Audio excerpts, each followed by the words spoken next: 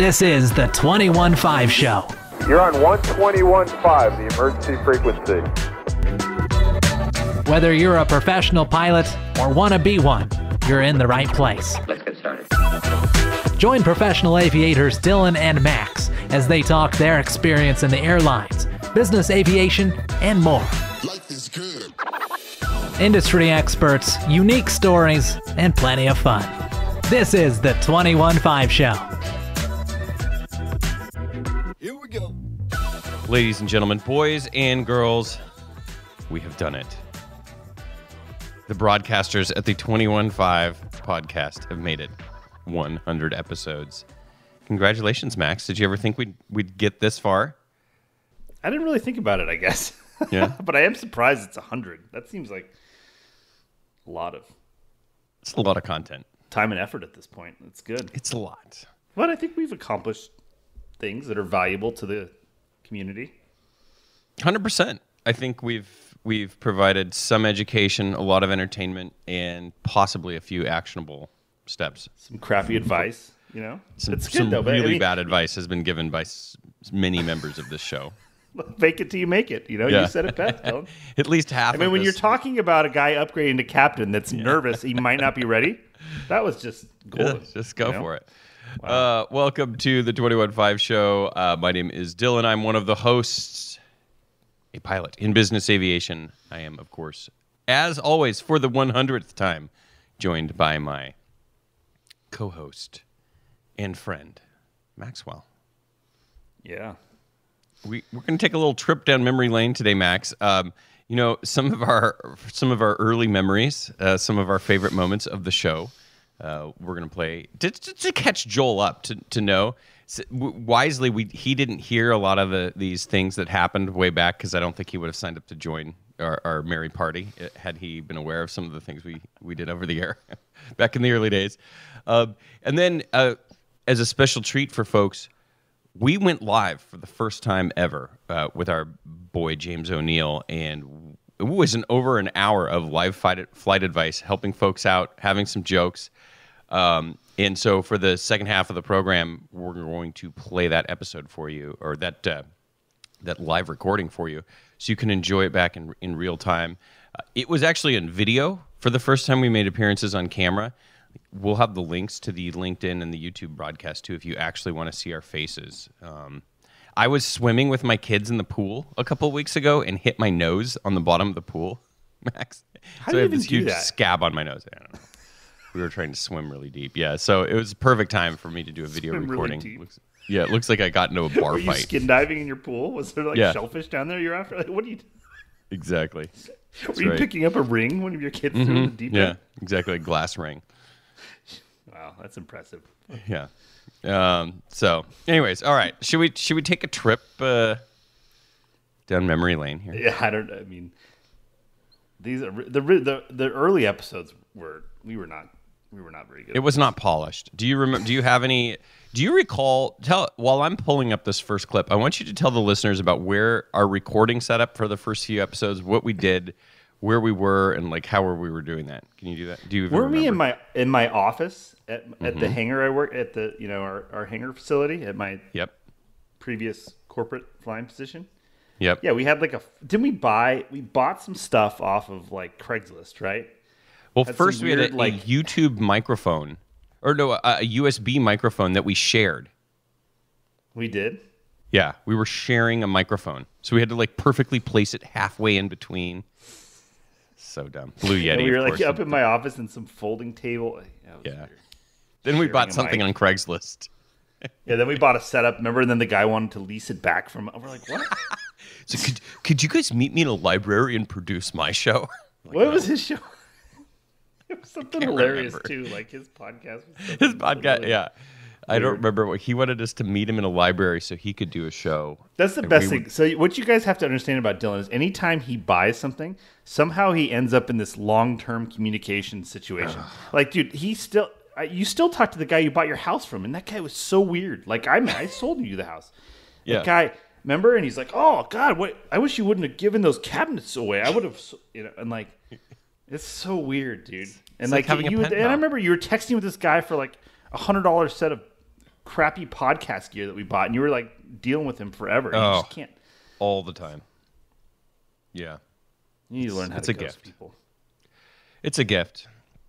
Anyways, gift. um, you and Nippa is a real. yeah, thing. I, I find new and interesting ways to. Uh, Southwest 101, delete the chipper speed restriction, maintain 300 knots sorry, or better to my bad. We're gonna have to delete What that. is that? I'm t- I'm trying to cue us up. I didn't think it was live. What was it? Who was that though? That was Derek Vento because episode. Oh yeah, that's Vento. right. Oh, we need to have him back on. I like that guy. Remember we, he's we, a we played some character. music and, and made him freestyle? Yeah, That was awesome. yeah. We could play that next time. Derek, I'm putting you on notice, bro. Prepare something because we're gonna. Yeah. Okay. All right. You ready for clip number one, Max? This is an all-timer. This is a classic. Um, Joel, I think you're going to enjoy this. This was the origins of one of our I'm favorite. very excited. This is very exciting. Okay. Here we go. All right. I got something for you here. What do you think of that? Or this one? That's the Warn Horn. See, because I used to always say I thought the word furlough sounded like something you should play on a flute. and so Roy and I, you know, our buddy Roy, who's been on the show, we would always talk about the furlough flute. and then we were talking the other day, and then I was like, "What about the Warn Horn?" Dylan will be playing Furlough, piece number two. Piece number two, eight hundred pilot. um. That's terrible to laugh about it, but I guess uh, what else? no, are you gonna do? I it is. It's it is a huge deal for so many people, and that's what we wanted to kind of start great. off with. A ton of these. American Airlines sends out a letter, warn letter to 2,500 pilots. Yeah. Delta twenty five hundred. United twenty two fifty. ExpressJet just went huge and just sent one to every single employee at the company. That's Um, a triple warn. Yeah, that's terrible, really. So, as many of you The furlough.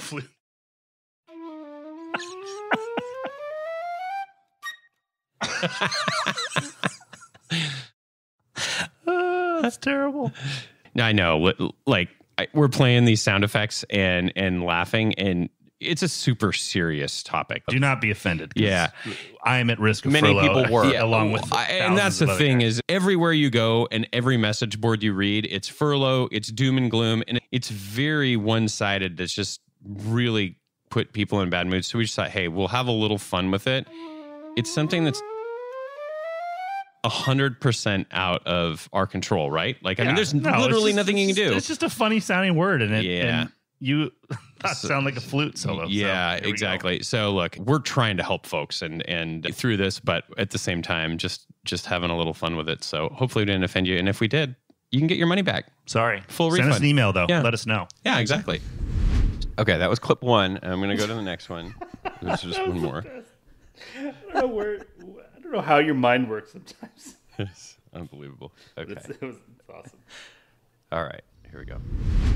Had a chance to listen to the one with Carl Valeri, who was an ALPA Furlough rep. That was a few episodes ago. Go listen to that one. He really explains the. Yeah, exactly. He doesn't do a flute solo, but he does do a good job of explaining what the process is Of what? of uh, furlough. and and uh, then obviously our latest episode with James Onieal that we did talking about how to network and how applying for jobs. Are you doing okay? I don't know why that's so funny. It's just, I mean, it's just a little woodwind. All right. So it seems, it seems like you're still laughing. you know, it turns out that hasn't gotten any less funny. It's oh, it's gotten better with age. it's funny because I, we, we were like, we even, as we're hitting the sound effect button, we're like, well, we hope we don't offend anybody. Well, we did. We I was remember how many ask, emails? What feedback did you guys get at the moment? Did we get emails where people were pissed Oh off yeah, about it? But half the remember. people thought it was the most funny thing to your to your question, Joel. Yeah, half the people thought it was hilarious, and then half the half the people were really offended. So it turns out when like all of your listeners are facing a possible layoff, like maybe it's not a laughing matter. I bet everyone thinks it's funny. I bet the, the percentages have really shifted though. Yeah. So I want to know where you got the flute sound effect from. That's what I. His son play, his son played them on the recorder. no, that was that was prior to Gavin's flute uh, recorder lessons. Um, we got them off of a the website where we get all our licensed audio. What, what, And what so do I you think, downloaded- Joel? We hired a flute soloist to I was hoping. these? I was hoping. I knew a guy, and Yeah, he was just episode recently 35. furloughed. We decided to really put up some personal cash to hire a dude to play the Yeah. uh, flute solos. Well, we I think it was it was right when we first got the audio mixing board too, where we had the buttons where you could push to play the sound effects. So you can like hmm. hear the buttons actually getting pressed in the episode because Max is hitting him so hard. so uh, yeah. Furlough flute. Well, listen, it's uh, it's been put up in the top shelf of the closet for right now. But It, last thing on this, Joel, did you know that a listener's wife drew a bunch of like furlough flute picture, like illustrations? remember the one for us? hiding in the grass, like the Yeah. furlough flute hiding in the grass, getting ready to pounce. That was the, that's the greatest thing of all. We need. Yeah. To, oh my god, we need to get Amos, of that. made. listener That's Amos, and his hilarious. wife. Uh, yeah, they it was pretty funny. Yeah, we need to So uh, shout out too. to them because Well, don't worry. really good. The furlough flute could come back someday. No, Yeah. it will. Don't worry. Uh, I mean, It's a cycle. It's a cycle. It already has. On it, honestly, that's um. I was going to bring it up. Um, JetIt. JetIt, and yeah, not good, not good. Okay, I'm going to cue up the second clip. This was this was a, we went a little. Uh, I, I I went story time on this one. This was back when I had gone on a rant. There's an airport, Joel, called Heber. Um, it's in Utah, and folks uh, that are in business aviation know it. Um, i i it's the where you can fly into Deer Valley, a little bit closer than Salt Lake City. I don't like this airport. I'm on the record uh, many times saying how much I dislike this airport.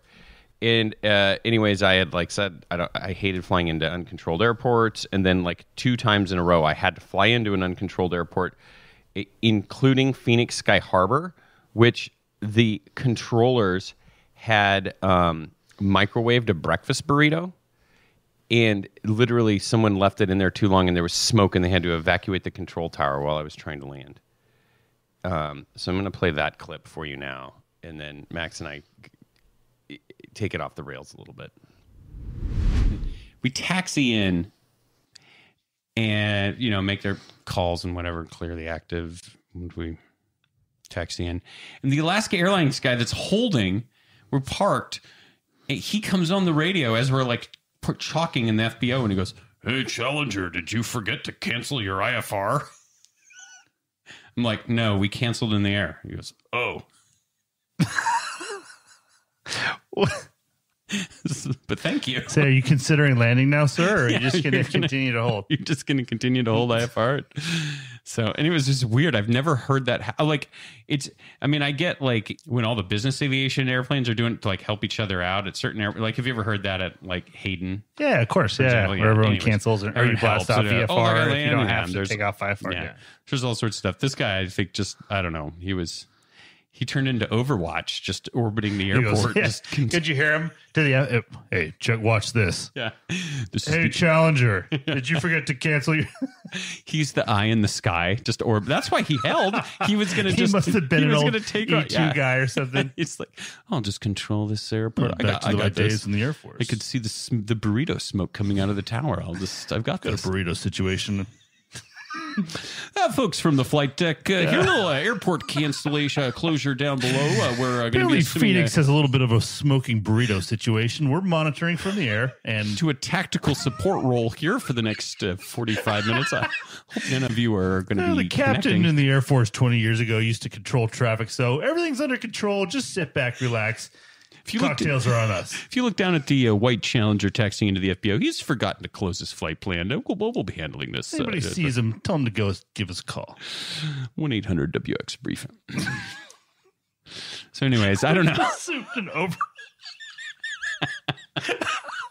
I don't know. 2021's been a weird year in the air so far. The eye in the sky. You guys are idiots. Yeah. Whoever that was, thank you, Alaska. Yeah. So thank you. I mean, no, guy safe. seriously, I appreciate. You know what? I'd much rather have somebody say, "Hey, did you forget?" To, like, if I actually had forgotten to. Well, yeah. How many times does that happen? Hey, uh, can you see a hawker on the ground? Yeah, if they cancel, exactly. we can't let anybody Yeah. in until he cancels. No. They're in the call. They, they- remember, have you ever heard him call Oh, the yeah. FBI? The FBI was like, "Hey, is there a Challenger 80 Yeah, right, I know. Juliet Foxtrot." Yeah, exactly. Okay, that was a clip. And then afterwards, as an Easter egg, Joel, we thought it'd be a great idea to even go farther and freestyle after.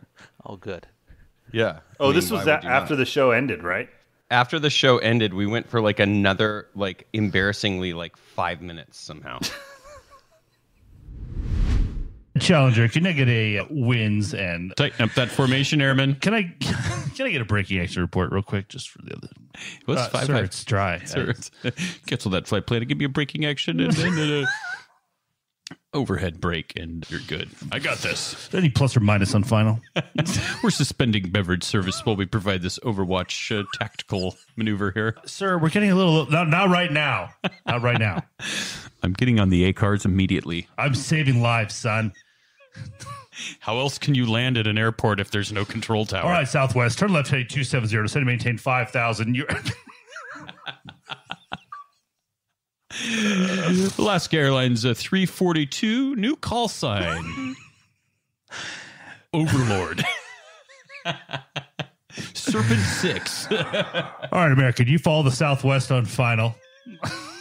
Sidestep it to two, Keep it two tight. six right. Plan on the north route. Don't just get on the ground. Take the keg route into the. We're going to take you around through enemy territory back to Charlie 24. There's no other way. Familiar with the uh, steep tactical approach here. We're going to. Threats at the. We've got some unidentified bogeys uh, north of the airport. Looks like to be a high wing single engine aircraft. We'll keep you advised. Well, the nice thing is, too, I mean, they could give live wind reports with the smoke of the burritos coming out of the control That's a window that's open. Guys, Caution for uh, mountain obscuration from the burrito smoke coming from the. VFR is not recommended, but we're doing it. I can't. I can't believe that controller goes. Now, uh, is there any way you could land without a control tower? Now, are you able to extend the landing gear without an actual landing clearance? There won't be any light gun signals or anything like that. You guys are just going to have to inform each other of your position. Is that? Have you heard of Is such a there a thing? technology? My manager's in the AIM right now, trying to figure out. Well, the best is I didn't even know what frequency he goes. Yeah, we were just talking about that. I don't know. I don't know. That's, do you, do you guys have any input on this? Uh,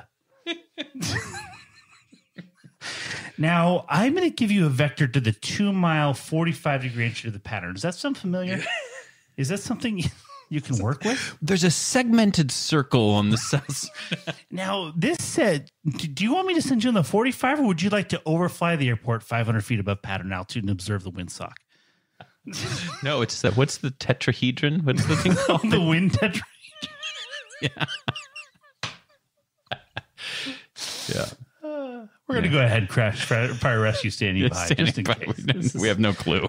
We're We're throwing our hands up in the air, which is classic. I those now, guys. there's a guy in Alaska that has assumed something called Overwatch. We don't see that in the pilot controller glossary.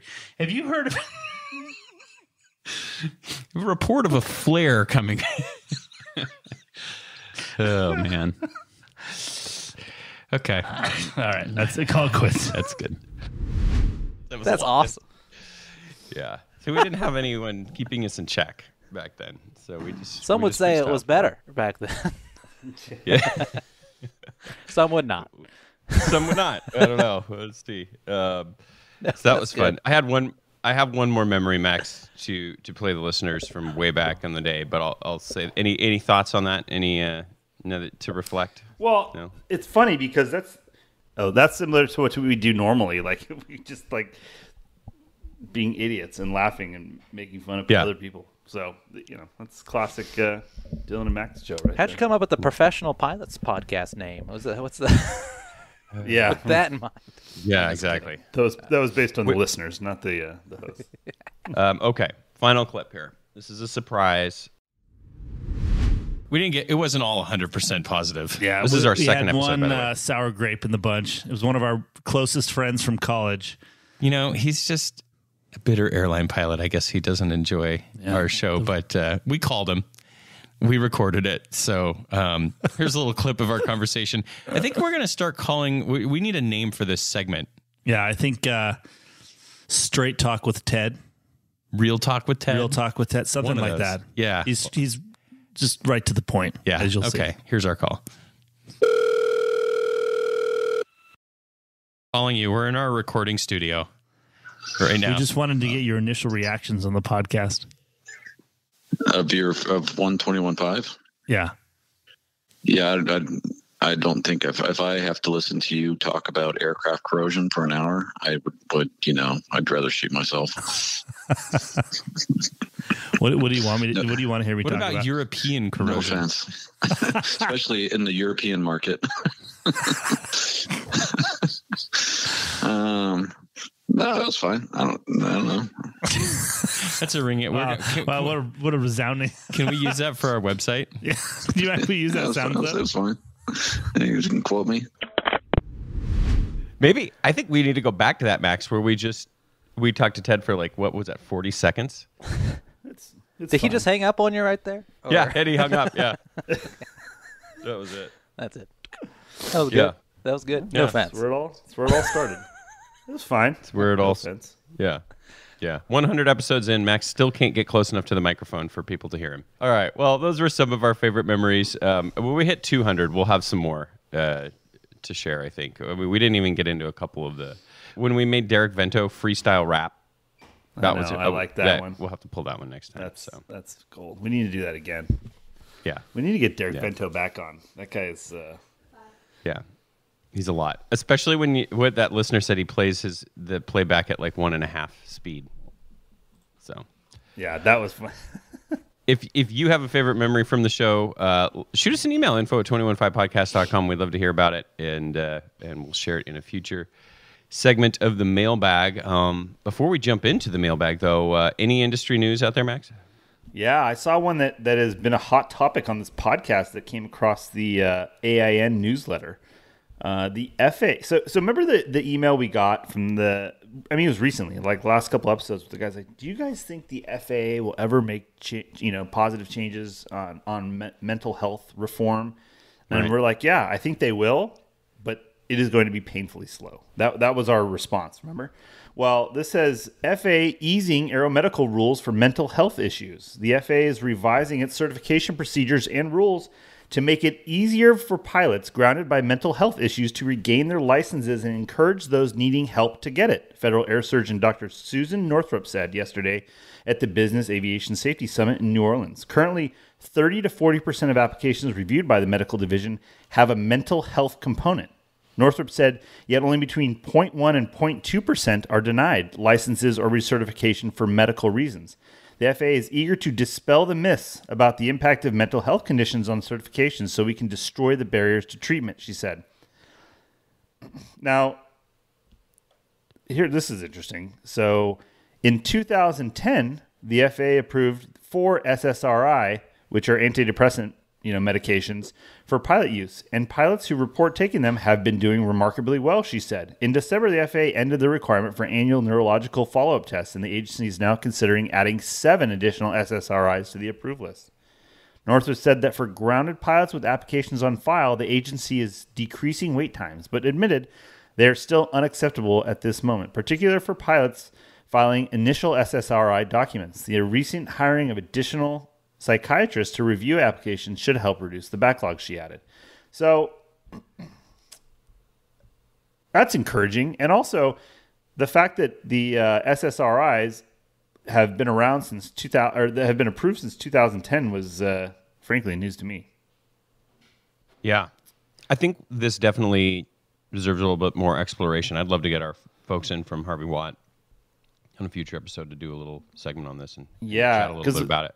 I mean, we've had multiple people we write in, and, and certainly the sentiment out there is that if you have mental health issues or even depression specifically, like you put it under your pillow and don't talk about it, which is certainly not the healthiest way to deal with those type of things. But everybody's uh, attempting to protect their medical, which one may be unnecessary. If you can get an approved SSRI, talk to your AME and, and get that worked out.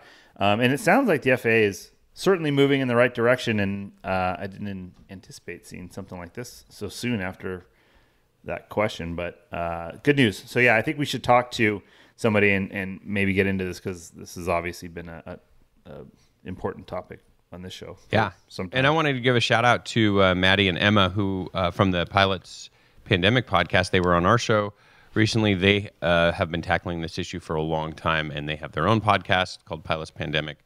They were on uh, NBAA's podcast the last couple of uh, episodes as well. I'll link to that, but um, they're really leading the charge. So hats off to them for all of their hard work. Um, okay. Should we jump into the mailbag? Should we go? Head first. Let's do it.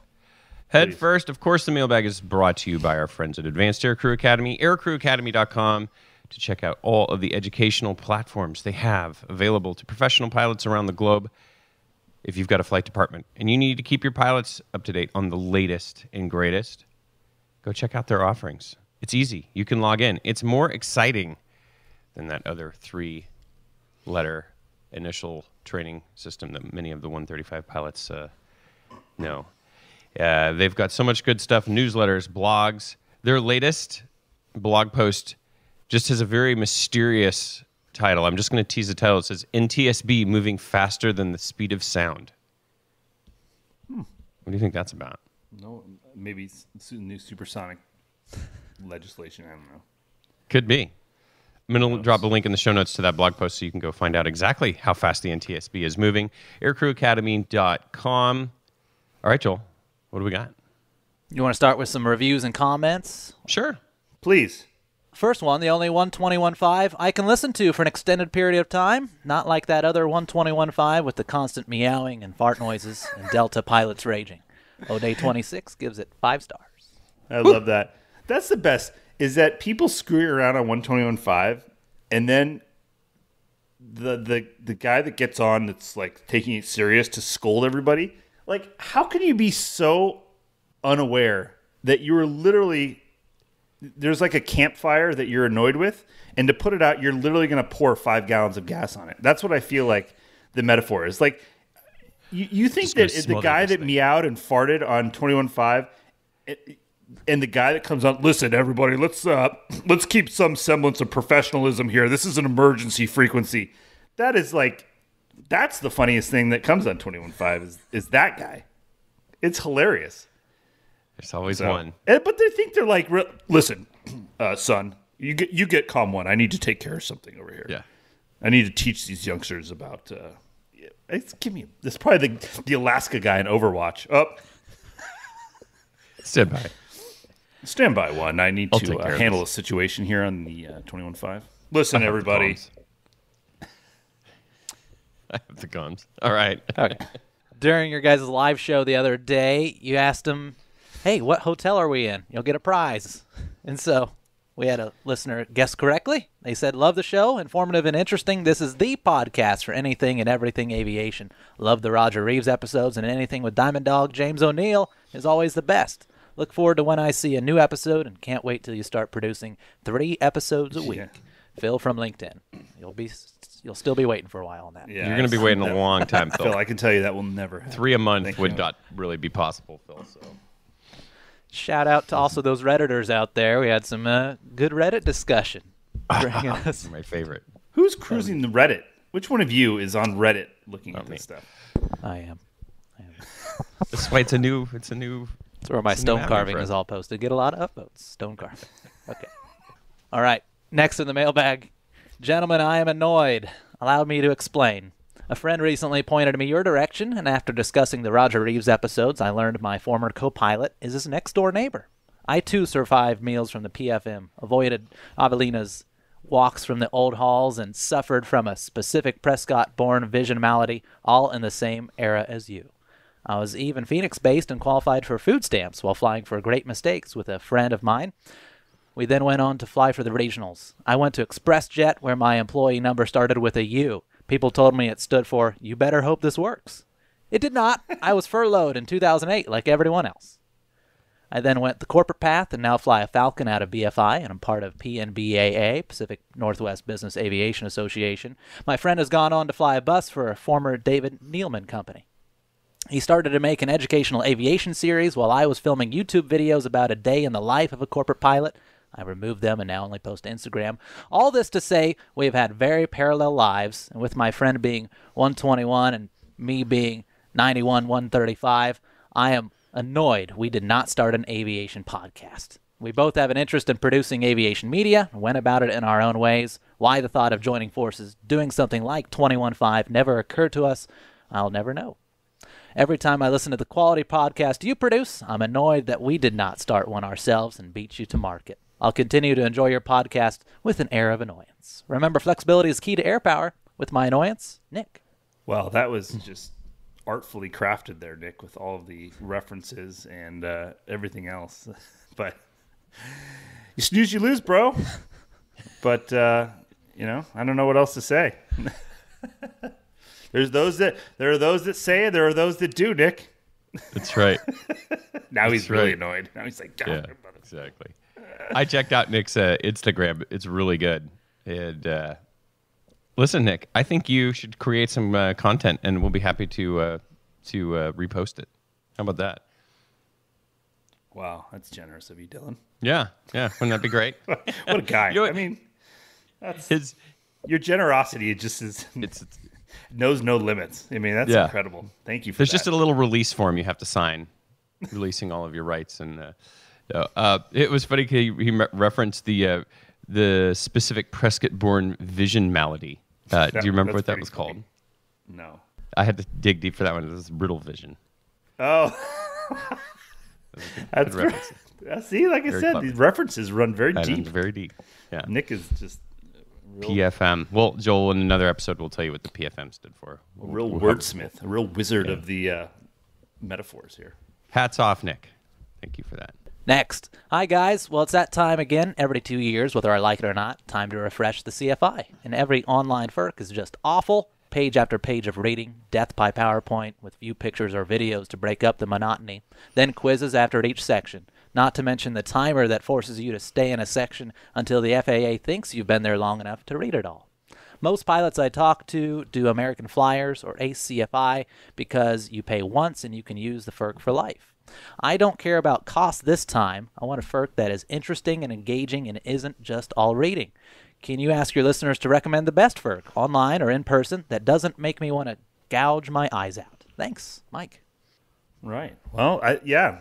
Anybody write in, uh, a call is out for the best FIRC. But I'll tell you what, Mike, as painful as it is, continue to renew your CFI. Take it from me.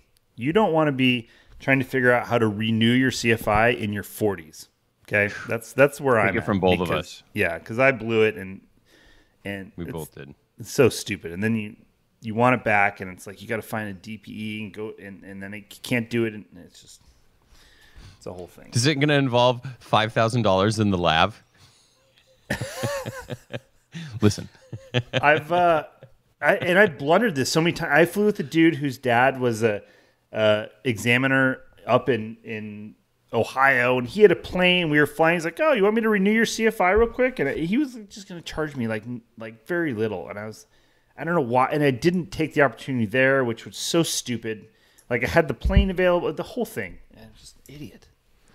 I had yeah. uh, Some FAA guys would do it on their line checks for one thirty five. Somehow, I never got up someone that would I do know, it. or you used to be able to get it renewed like it in 121 too. Like when you, there's so many. So many mistakes. So listen, even if the FIRC is painful, even if you don't find a fun and good one, stick with it. Just think about having to figure out how to, uh, you know, teach slow flight in after you haven't for 20 years to get it back. So Yeah. that's, what's worse? Brutal. Uh, and the last, my last point there. ye- Yes, our listeners should write in and and uh, and and say what, what's best. But I know who pet, does the best uh, job of producing online educational content. It's Aircrew Academy. Send an info to, email to them and be like, why don't you guys make an awesome FIRC? That's what I That's think. a really good idea. Why don't you send an email to Dan? Info at. Uh, I mean, he's the owner of the company. You have a personal relationship, Dylan. Maybe that would Yeah. be more effective. Yeah, Dan. All right, check your inbox. Yeah, Dan. Let's make a cool FIRC. Come on, Dan. Let's go. All right, what's next? Gentlemen, let me start off by saying what a great podcast. It's fresh, relevant, and entertaining, although I do have mixed feelings about the two part Roger Reeves series.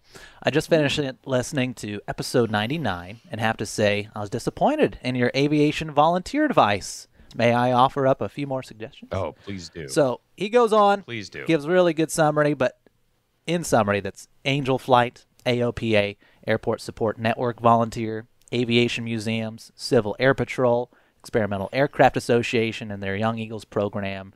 And that's just to name a few, he says. And this was all volunteer work that you can do if you don't own an airplane to volunteer that. That's just showing up, having aviation knowledge of being a pilot and volunteering. So uh, he is correct. We missed a lot of them. Thank you. I also wanted to tell you that the advice you gave about living your life to max fulfillment hit home. I'm approaching 30 years at my day job and want to spread my wings at a 121 or 135 operation before I find that I can't fly no more. I look forward to more of your great insight and advice. Go Buckeyes! Splinter. yes. Yes. Ugh. Get out of here. Half of these, I think you write, Joel. Wouldn't that be funny Uh, if you that- had like Joel confessed in a couple years? Uh, On the 200th we weren't, episode. we weren't really getting any reviews or anything, so I just Yeah, you guys told me to up. do all the reviews in the mail, but there nothing was there. I knew it. You know how many emails I have now? I, I could only make one out of five a Buckeye fan. He, Joel's just taking our aviation license plates and then putting those at gmail.com and creating all these emails. 737 captain at gmail.com. Oh, look at that. He, see, that was the dumb thing in our contract with him. We we like said we were going to pay him by the email and review. So yeah, big mistake Yeah. on our part. Only positive ones. So you notice how he never, nobody ever uh, writes in and says we suck. That's weird. No, these we got two emails that said that. No, Splinter, Well, that, that was a really while good email. because they were pissed off about the Roger Reeves situation. So No, I. I did. I'll tell you, I was on, honestly when we did that volunteer email, we I I was walked away from that. I'm like, ah, we did not do a good job there. So thank you for calling us out, Splinter, and sending it in. And that's one of the reasons that we love doing the mailbag is because often people ca- call us out or have great suggestions for us. So we always pe- appreciate when people the write in. people in the business. That's right. We just have a, a forum for people to. The, the best will rise to the top. So we appreciate it. Thank you, Splinter. Um, if you want to tell us that we suck or uh, give better advice than we did, you can do that easily by uh, sending us an email info at 215podcast.com. You can always visit the website and send us uh, an anonymous message as well. And that's on the flight advice link on the main page. I think that's it. Speaking of flight advice, Max, we did a lot with James last week live. Um, thanks to the magic of producer Joel getting all of the uh, video and and uh, the, the, the what do you, what do you call it digital assets. We had an incredible incredible show. A lot of professional production uh, value in a lot of production and a lot of participation. So I want to thank any of the listeners that tuned in live. Uh, it was really cool because we we read some flight advice that we had that folks had emailed in, and then the comments just started coming in with a bunch of questions from people. So we loved helping folks out. Um, so we're gonna play that. It's just over an hour long of uh, live flight Yeah. advice. But here, It was like a true live show because most of the stuff we talked about were people that were interacting Yeah. live. So people don't think like we we like you know spoof the whole thing. Like those were actual people that wrote in, and then Joel somehow through his wizardry posted them up on the thing. Yeah, it was pretty incredible. Um, so uh, if you want to listen to it audio, it's great and it, and it and it stands by itself. But it's even better if you want to jump in on the video. We'll have the uh, links for uh, LinkedIn and you- YouTube in the show notes if you want to watch this Do you part. listen to any podcast on video? Do you watch podcasts ever? Here's a weird one. I don't know how to explain this. I always watch Lex Fridman on video. It's so much harder to watch it on video though because you like you can't just listen to it while doing other I things or whatever. It's so much more. Like I'm watching one right now, and of course it's like four hours, but you have to Yeah. watch it because the guy being interviewed is drawing diagrams and there's a lot Oh. of visual interaction. But dude, it's taking me two years to. It's amazing how long it takes to, uh, because you can't multitask. Like you, Yeah. to sit there and Well- watch it. Like you can't, you know. For whatever reason, I was paying for YouTube Premium for a while, where you can because you can you don't have if you don't want the screen But the whole on. point, You know how yeah. I know. It, well, it just I, I can't explain it. That's why I canceled it. But I was doing that for a while too. What's with So, you and Lex Fridman? Like he, like I don't know. The I funny just, thing I is, I just love looking like- at Lex. He's pretty while he's like talking. he's pretty monotone and non-animated. Like, why why would you choose that one to watch? It's unexplainable. I don't know. I, I just for whatever. Here's why is because it's like when I'm doing stuff around the house and YouTube's on or whatever, and it pops up and he's there, and I'm like, oh yeah, what's the latest Lex? And then I just put it on while I'm doing other things. That's the weirdest thing though, because if you subscribe to the, I don't know. Sometimes I, I- don't understand listen, you. I don't know. I don't know what to tell you. First you marry my sister, now this.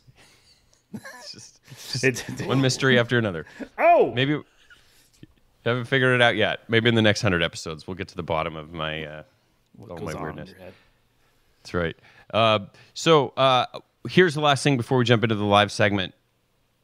Let us know what you think. Is this something you'd want us to do quarterly? I mean, I, I'd hate to have to talk to James that much, but we would do it.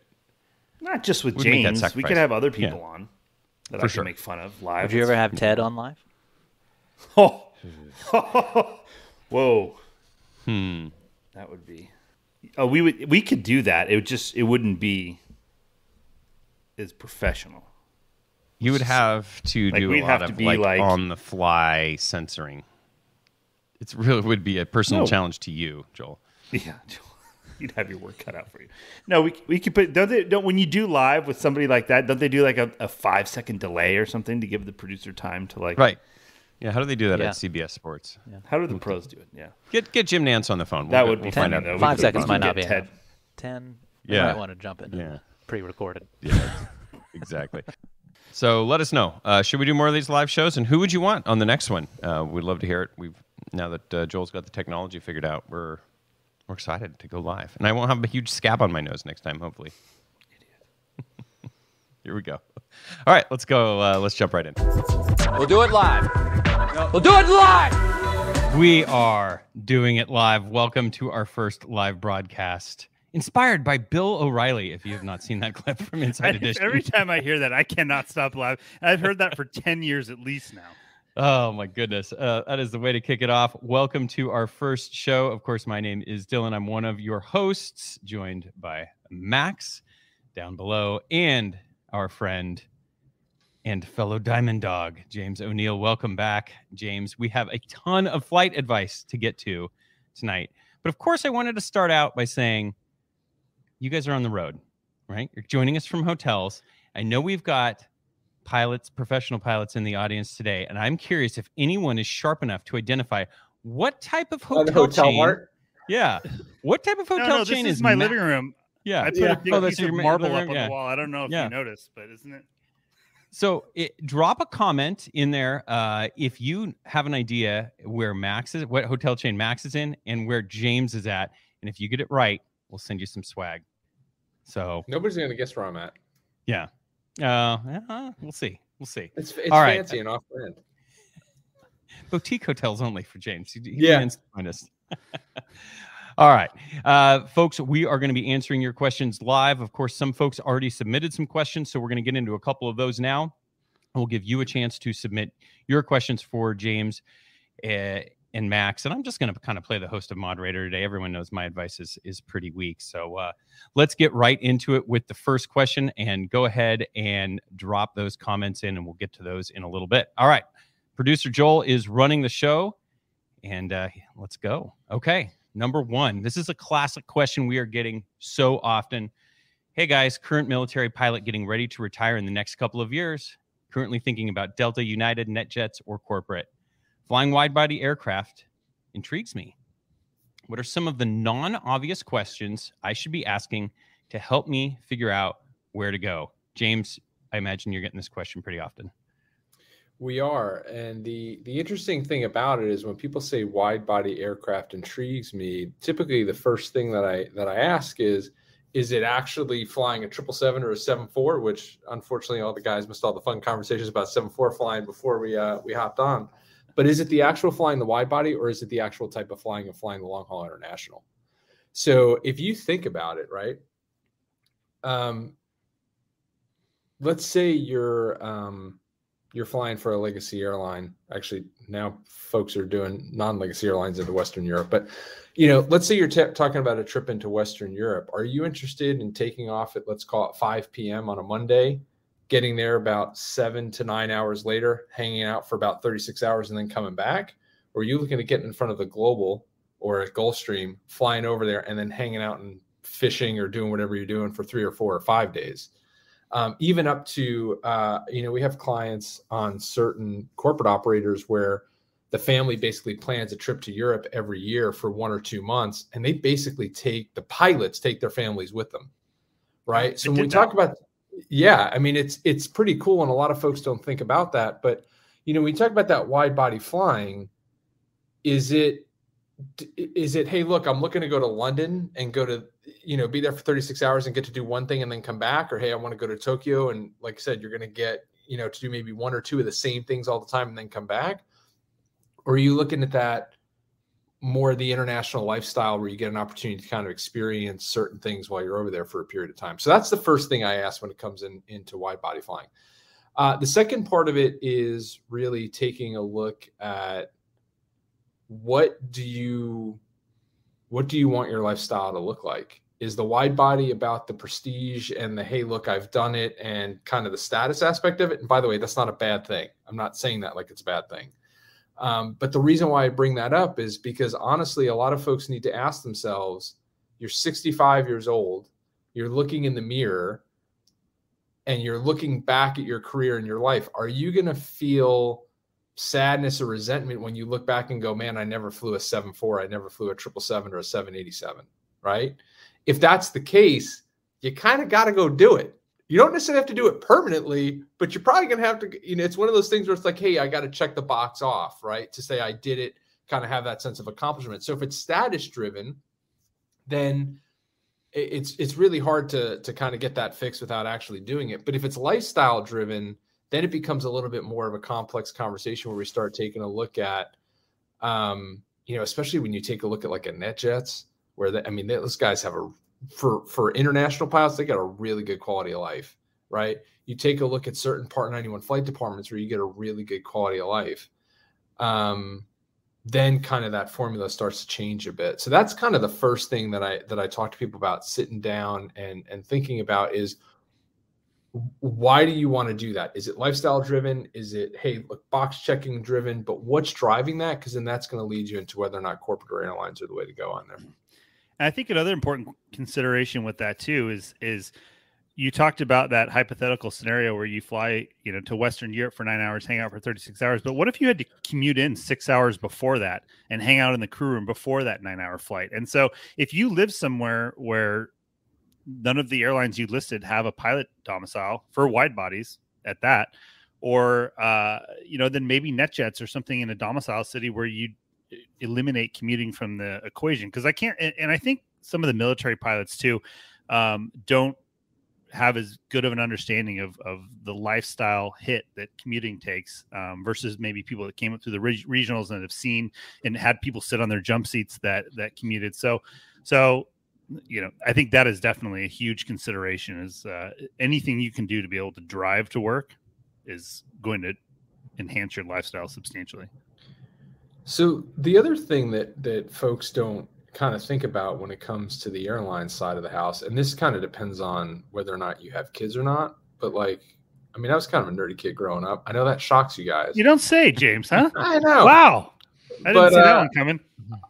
I, I remember like when I was really young, there were a couple of family vacations where like I happened to be learning something in school. And so that's where my parents planned on us to go to vacation, right? So you think about you're a wide body international pilot. And as your kid's going through school and as your kid's learning things, you can actually take your kid on the flight, bring them over to that country, show them some cultural things, some history things, whatever that is, right? There are experiences that you can weave into that that you're only going to get in an airline that you're not going to get anyplace else. So really understanding the why behind you want to do that matters. Well, and I think Chris here in the comments really sums it up by saying uh, we have unfilled narrow body captain vacancies at United because right seat wide body flying is like crack. Dozing for dollars, yep. I know they call it at some airlines, right? Uh, he also he also had a good point. You better be able to sleep on a jet if you're going to yeah. do that, right? Um, I know one of my friends. You're a food movie critic. I mean, yeah, exactly my my you are. That's what you're doing. That's I had a buddy at United that was doing it on the 787, and he said because I guess the the relief officer is re- responsible for the walk around, and Yeah. so the big debate and getting the blankets and pillows. Yeah, exactly. Yeah. And so the big debate was whether you needed to put your uniform on to do the walk around or if you could do it in your pajamas because you're going right to the bunk. So that Yeah. that comes into call, you know, the professionalism that we have in this industry. These so, are the uh, tough decisions you got to make as yeah. a wide body international pilot. yeah. Um, so so I don't know. Did we answer anything for, for this uh, military pilot? I, I think really it comes down to there's a It's- lot. It starts unpack, with the why. It, it really Yeah. starts with the why. And and the big thing that folks are having trouble with right now is honestly staring in the face at five hundred thousand dollars a year and saying, "Hey, I'm not going to go do that." They're the the the appeal of the lifestyle of corporate is, is what gets people thinking about that direction. But then the reality of, yeah, my buddy next door is making four or five hundred thousand dollars a year, and I'm making half of that. That that's where the rub comes in. And you know, so you got to kind of ask yourself, what is the dollar amount that I'm willing to place on my quality of life? And it turns out you can actually kind of calculate that. Um, but it can it can be tough to give up two hundred fifty, three hundred thousand dollars a year to have a good quality of life for some people. It's well said. Um, all right. Anything else on this one, Max? No. What's next? Let's see. We are. i feel bill o'reilly coming on Yeah, I know. I know. Quickly. We could see where is the teleprompter. Whatever it is, it's not right on a teleprompter. I don't know what that is. I've never seen that. Okay, this is another interesting one. Uh, we got says my partner and I, both military pilots, are planning to transition into civilian flying. We're considering two options: both join major carriers for stability, or my partner joins a major carrier while I pursue a corporate aviation career. We're seeking insights on scheduling considerations, especially with regards to stability when children are involved, as I value a stable schedule but find the Part 91 job exciting. Cool. So let's talk about. Uh, so first of all, uh, okay. So I would highly recommend you don't both work for the same company, because I, you know, when everything's going great, it's great. But man, if anything goes wrong, right, you're both you're both in in a really bad situation at the same time. So 2010, NetJets decides they're going to go through and they're going to start laying folks off. They actually laid office employees off before they laid off the pilots. Um, and they actually did it on September 11th, 2009. Um, and Eileen was working there at the time and narrowly, I mean, like super narrowly, made it through and didn't get laid off. A month later, I got my layoff notice. So if you're both working at the same carrier at the exact same time, if something goes bad at that carrier financially, you can end up going from making a million dollars a year to zero dollars a year pretty quick, right? So, first thing is, you know, give some serious consideration to flying for different carriers. Now, there are some some downside, or there's sort of obviously some benefits to flying for the same carrier in terms of being able to fly together and so on and so forth. Um, but you you really got to weigh that out depending on if you have pensions and what are your savings and so on and so forth going into it. So that that's the first part of it. The second part of it is one of you is probably going to have to choose a job based on flexibility Yeah. so that they can meet the schedule of the other. So I, I we happen to have I happen to have some friends where both spouses are pilots, right? And there is a give and take in that, right? There are different career goals that that they swap out for each other in terms of not upgrading or not taking a certain position because it's going to keep them separate longer. Um, so when you take a look at, and we can use Southwest as an example, where you have super flexibility on scheduling that you're not necessarily going to get in the same way or to the same level at, let's say, United, Delta, or American. So making sure you're clear on, okay, regardless of what we choose, whether one chooses corporate, one chooses airlines, we both choose airline, but we choose separate airlines, or we both choose airlines and we choose the same airline where is that give and take going to be so that we can maintain the lifestyle that we want otherwise you're both bidding opposite schedules so somebody's with the kids all the time while the other one's out on the road flying and you're basically not really living a life together if that makes sense Yeah, it's it, it's going to be tough any way you cut it. We had uh, some people that we knew that worked at NetJets, and they just bid the opposite schedule, and it was uh, for a while it was a high five, you know, coming Yeah, through the door. All right, All got see you in a through the week. Night. Yeah. Yeah. and that was like, obviously a very difficult and non-sustainable way to have a family. So, uh, yeah, to James token, find something with the maximum amount of flexibility and and not in the same. At least, at least. I mean, one. maybe And- even the sa- different segments too. I mean, you know, being uh, corporate and airlines, or even in a cargo carrier or something like that, just to diversify. I think would because Yeah. Well, as good as things are, they, they're not always as good. And The the difficulty is you know imagine you both work for a Part 91 flight department, right? That you're on call 24 seven or you know 135 91 doesn't matter, but you're on call 24 seven 365 and you don't your schedule more than 12 hours in advance, right? That's a really tough way to live a lifestyle. Um, imagine if you're both at legacy carriers sitting reserve commuting to outside bases. That's a really tough way to live a lifestyle. So there there are factors that go into that in terms of really understanding what do we want our life to look like that will help steer down a, a very clear path. I was talking to a guy earlier today who flies a King Air, uh, Part 91 aircraft owner, and I think last year he flew 98 hours and was gone 15 days for the entire year. He overnighted 15 days, right? You know, so you think about a job like that, like, man, that's a really great corporate job right? Super stable, no scheduling way in advance, not gone very much, right? But he's not going to make $300,000 a year doing that. He's going to sit in that 120 to 180 range pretty consistently. Yeah.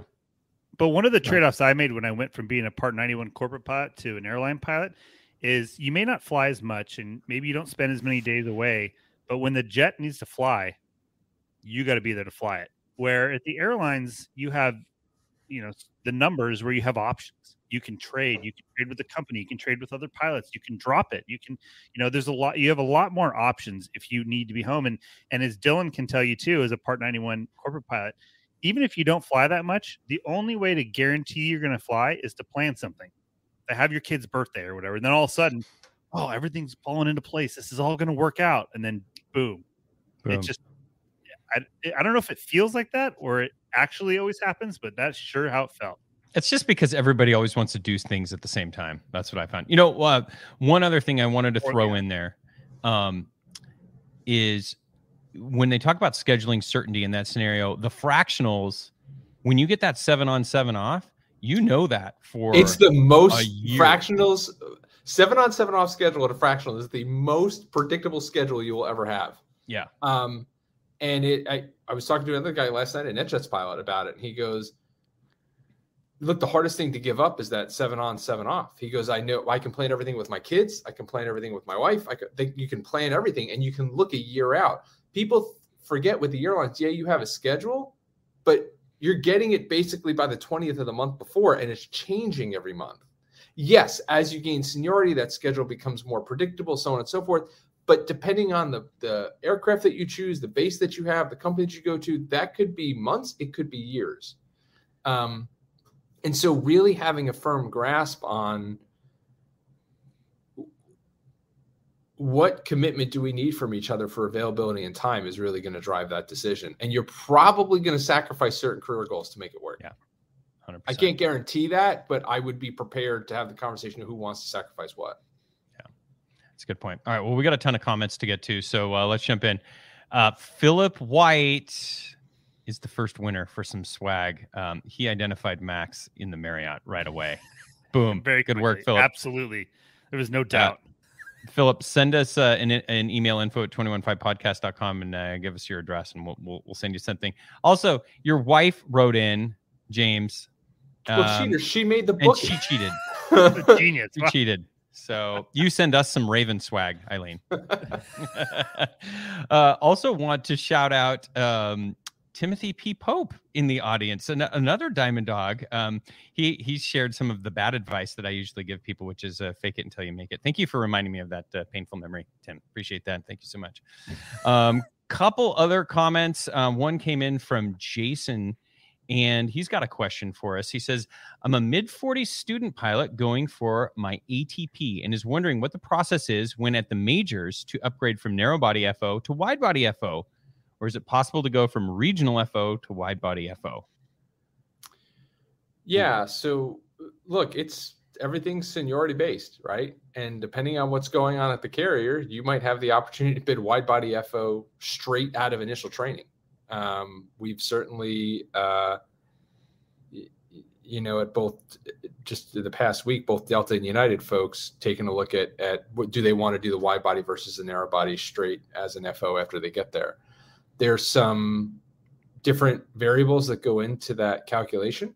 Um, a lot of folks don't necessarily consider the fact that you may be able to bid the wide body but if that company does not have a lot of experience putting new hires in that in that wide body aircraft the training's probably not designed for you right? So you know when you take a look at a 737 or an a320 or a 717 or some of the the the um, single aisle domestic airplanes right where they're historically they've been putting more junior pilots into for the past i don't know 100 years right they've got training departments that are structured for that having someone go to a legacy carrier and go straight into a wide body is a relatively new thing right? So the training programs that they have have been designed for people that have been at that company for 5 years or 10 years. There's certain assumptions they make about do you understand certain company policies and procedures and how boeing system works or airbus system works or so on and so forth?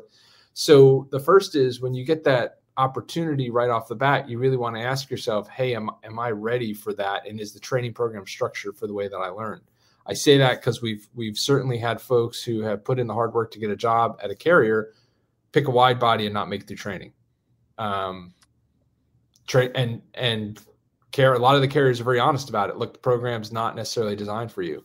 The other thing is, okay, yeah, you can bid wide body or you can get wide body FO right out of training but if if all of a sudden people are constantly coming in, because remember it's seniority based. So just yeah, because you got the airplane this month and somebody else yeah. got it six months from now, if their seniority number senior to you, guess what? You never move. You just keep going down the That's list. That's what uh, yeah. audience member Chris just said. He said you could go. They're put United people are putting people on the triple seven and seven eight right now, but you'll be on reserve for forever.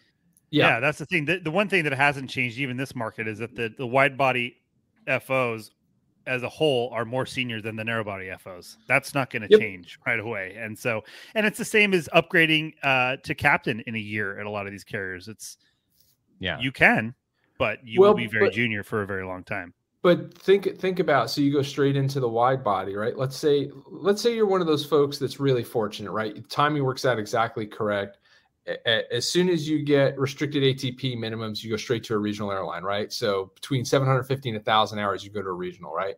You fly exactly a 1,000 hours at a regional, and boom, you get hired into a legacy carrier, right? So now you basically have somewhere between 1,800 and 2,000 hours total time, right? Um, you may have some total have been in the industry flying professionally for three to five years, right? And now you bid you're like oh i'm going to go right to the triple right? I'm going to go to a330 uh, okay, okay great.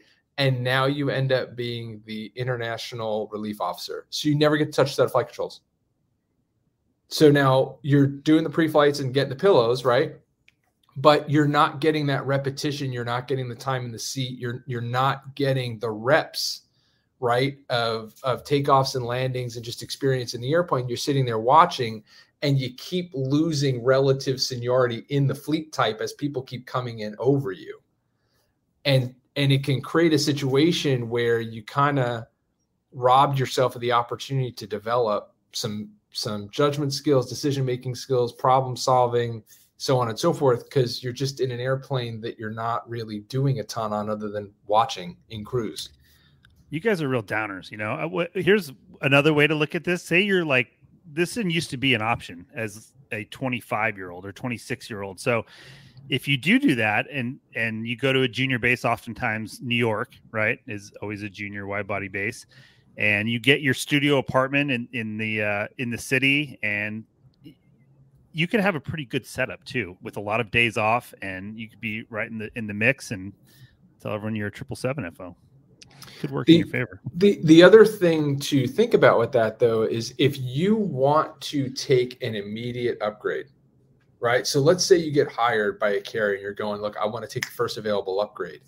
Bidding the airplane that you think you can upgrade on gives you that experience it gives you that experience and Right. watching other captains do it. So you don't bid the triple or A330, and then all of a sudden a year later you're going through an A3, A320 course as a captain. So now you're a captain on a brand new airplane, and maybe you've never been a captain before. The first time some of these people are going to be captains is going to be at a legacy carrier. So Yeah. there's there's certain variables that go into thinking through hey look what do i want my career to look like if if you're saying hey look i want to sit on wide body for three to five years yeah fine go straight in as an fo on a wide body um, but you just got to kind of think through hey look what do i want my what do i want my next one or two steps to be so you can put yourself in a position to be successful at that Yeah. All right. Uh, another uh, question from the audience. This one from Jab. He says, uh, he or she says, can you speak specifically about the schedule flexibility at Southwest versus United that James mentioned? Um, there might be some people that know something about that uh, I on the can, panel. I can Uh, speak ahead. uh, very Yeah, I was gonna say, I think confidently there about be- half of that, but the other half Yeah. I don't really know. So go ahead, James. You take it and I'll chime in. Well, so we're talking about the difference between. Uh, so there's a couple of different things overarching that go into the difference in the flexibility. Uh, so the first is how do the reserve rules work, right? Do you have to be within a certain distance of the airport? Don't have to be within, it. you know, is there a two-hour call out, 18-hour call out? Do you have what's called short call reserve, which is basically you need to be there. Let's just use two hours as, as a number versus long call reserve. Hey, you have 12 hours, 16 hours, 18 hours to get to the airport. Um, the second thing is, can you um, pick up trips in different bases? Right? Can you sit reserve in different bases, or you have to sit reserve only in the base that you're in? Um, and then, what is the ability to pick up and drop trips? And that's really where I would, from my perspective, the magic at Southwest is the ability to pick things up and and and as that one commercial says, pick them up, and put them down. Right? Um, it's the ability to pick things up and and and then drop them or, or trade them. Um, and so, Max, if you want to kind of talk about the specifics, kind of how that works at Southwest, I think that'll kind of help them understand. Hey, look, how what, does a, a max flexibility schedule look like? Well, the first thing you have to realize is we, you know, it's an airline of over 10,000 pilots that all fly the same airplane. So that in and itself gives you a lot more flexibility. It's all the same airplanes at all the bases and you can fly any of those airplanes at any base. So so that starting there, you know, you're a big leg up, but essentially what you have the ability to do is it's not so much on reserve because the real flexibility happens when you can hold a line, but you can trade with trips that are constantly coming available through that the company has. There's other pilots can post trips, and so if you you know we call I call it playing the game where it's not you can't just be like nah you know I don't feel like going to work tomorrow I'll just trade this for Friday. It doesn't really work like that. But if you have some sort of strategy and ability, and there's there's text alerts that you can sign up for, so when a trip that does meet your criteria shows up, you can, you know, be Johnny on the spot and log in and trade it and things. And and but at the end of the day, I haven't flown. I, I, I don't fly ninety percent of the trips that I'm awarded in the bid because I move them all around to stuff that's better or because I and, and I'm not that senior and I only want to work on Wednesday morning, Thursday, and get done Friday afternoon. And I'm almost 100% successful at doing that. And that's because of the ability to move all stuff around. And then uh, to make yourself doubly successful, I've trained my wife on how to do this too. So she gets the, the same text alerts and she can jump on and do it. CRM. So, yeah, exactly. so you got to use all your available resources. Yeah. She works from home and has a computer on a lot of days. So, um, so I don't know how it is everywhere else, so it's hard for me to speak to that. Um, but but the Well, we had we just have a comment that just popped in from a United pilot, um, uh, and it sounds like oh, you can just read it yourself. It says it's uh, not as flexible. I would say, and and I think you mentioned that James. Like probably Southwest has the reputation right now for being the most flexible. Uh, yeah, and it goes it goes to what Max said. When you have one fleet type of everyone trained on the exact same airplane, the the the the reason so scheduling and pay are the two biggest questions that pilots have. How does it work? Yep. And the difficulty with it is there is so much nuance to scheduling, and there is so much nuance to to pay um, that the way that we do it is when folks come in the door, we either use some networking um, training that we give in terms of meeting people if they don't already know people there, or we go through and we map out specific questions to ask. So you can go to someone that works at that specific carrier and say, "Hey, look, if I was going to be based here, if I was going to be flying to this airplane, how would I how would I adjust the schedule or flex the schedule to make to meet my needs?" When you go about it from that perspective, you end up being able to figure out, "Hey, look, what companies are going to work for you and what companies are not." Everybody's wife is chiming in there right now. Yeah. This is not for you guys. Yeah, come on. Uh, Could, we, we should see as if Take she's willing to, you know, uh, subcontract her skills and start a little mentoring group for uh, no, no, no, new no, hires. no, no, we're good. We're good. Uh, all right. We'll do it live. But and the other thing too do it just want- live. I can, I'll write it and we'll do it live. Uh, the other thing that I want to mention too is that, that, and I don't again know how it is everywhere else, but at Southwest, you do have the opportunity to work a lot more if you want to and scale your income, and or you can just work less and you can actually trade for trips with less value and and and so the flexibility too not just on the days you want to work and the trips you want to fly but also uh how hard you want to work and which therefore equals how much money you want to make is is another uh option because there's people of the same seniority that have very different income levels based on how much they want how motivated Yeah, but think about it this way, Max. What's the minimum amount of what's the max amount of flying you can drop every month? Oh, well, honestly, right now to just drop it is like Yeah. yeah, not not much, but you can you can if you're sly about it, you can turn three days into two days into one Mm-hmm. days, and so you can drop here and there, but you can't just like you know, clear it all off. I don't feel like working this month. But That's contractually speaking, if there was someone that wanted to take it from you, you could No. do that, Yeah, correct? yeah. Oh, yeah. Yeah. Not every carrier allows that.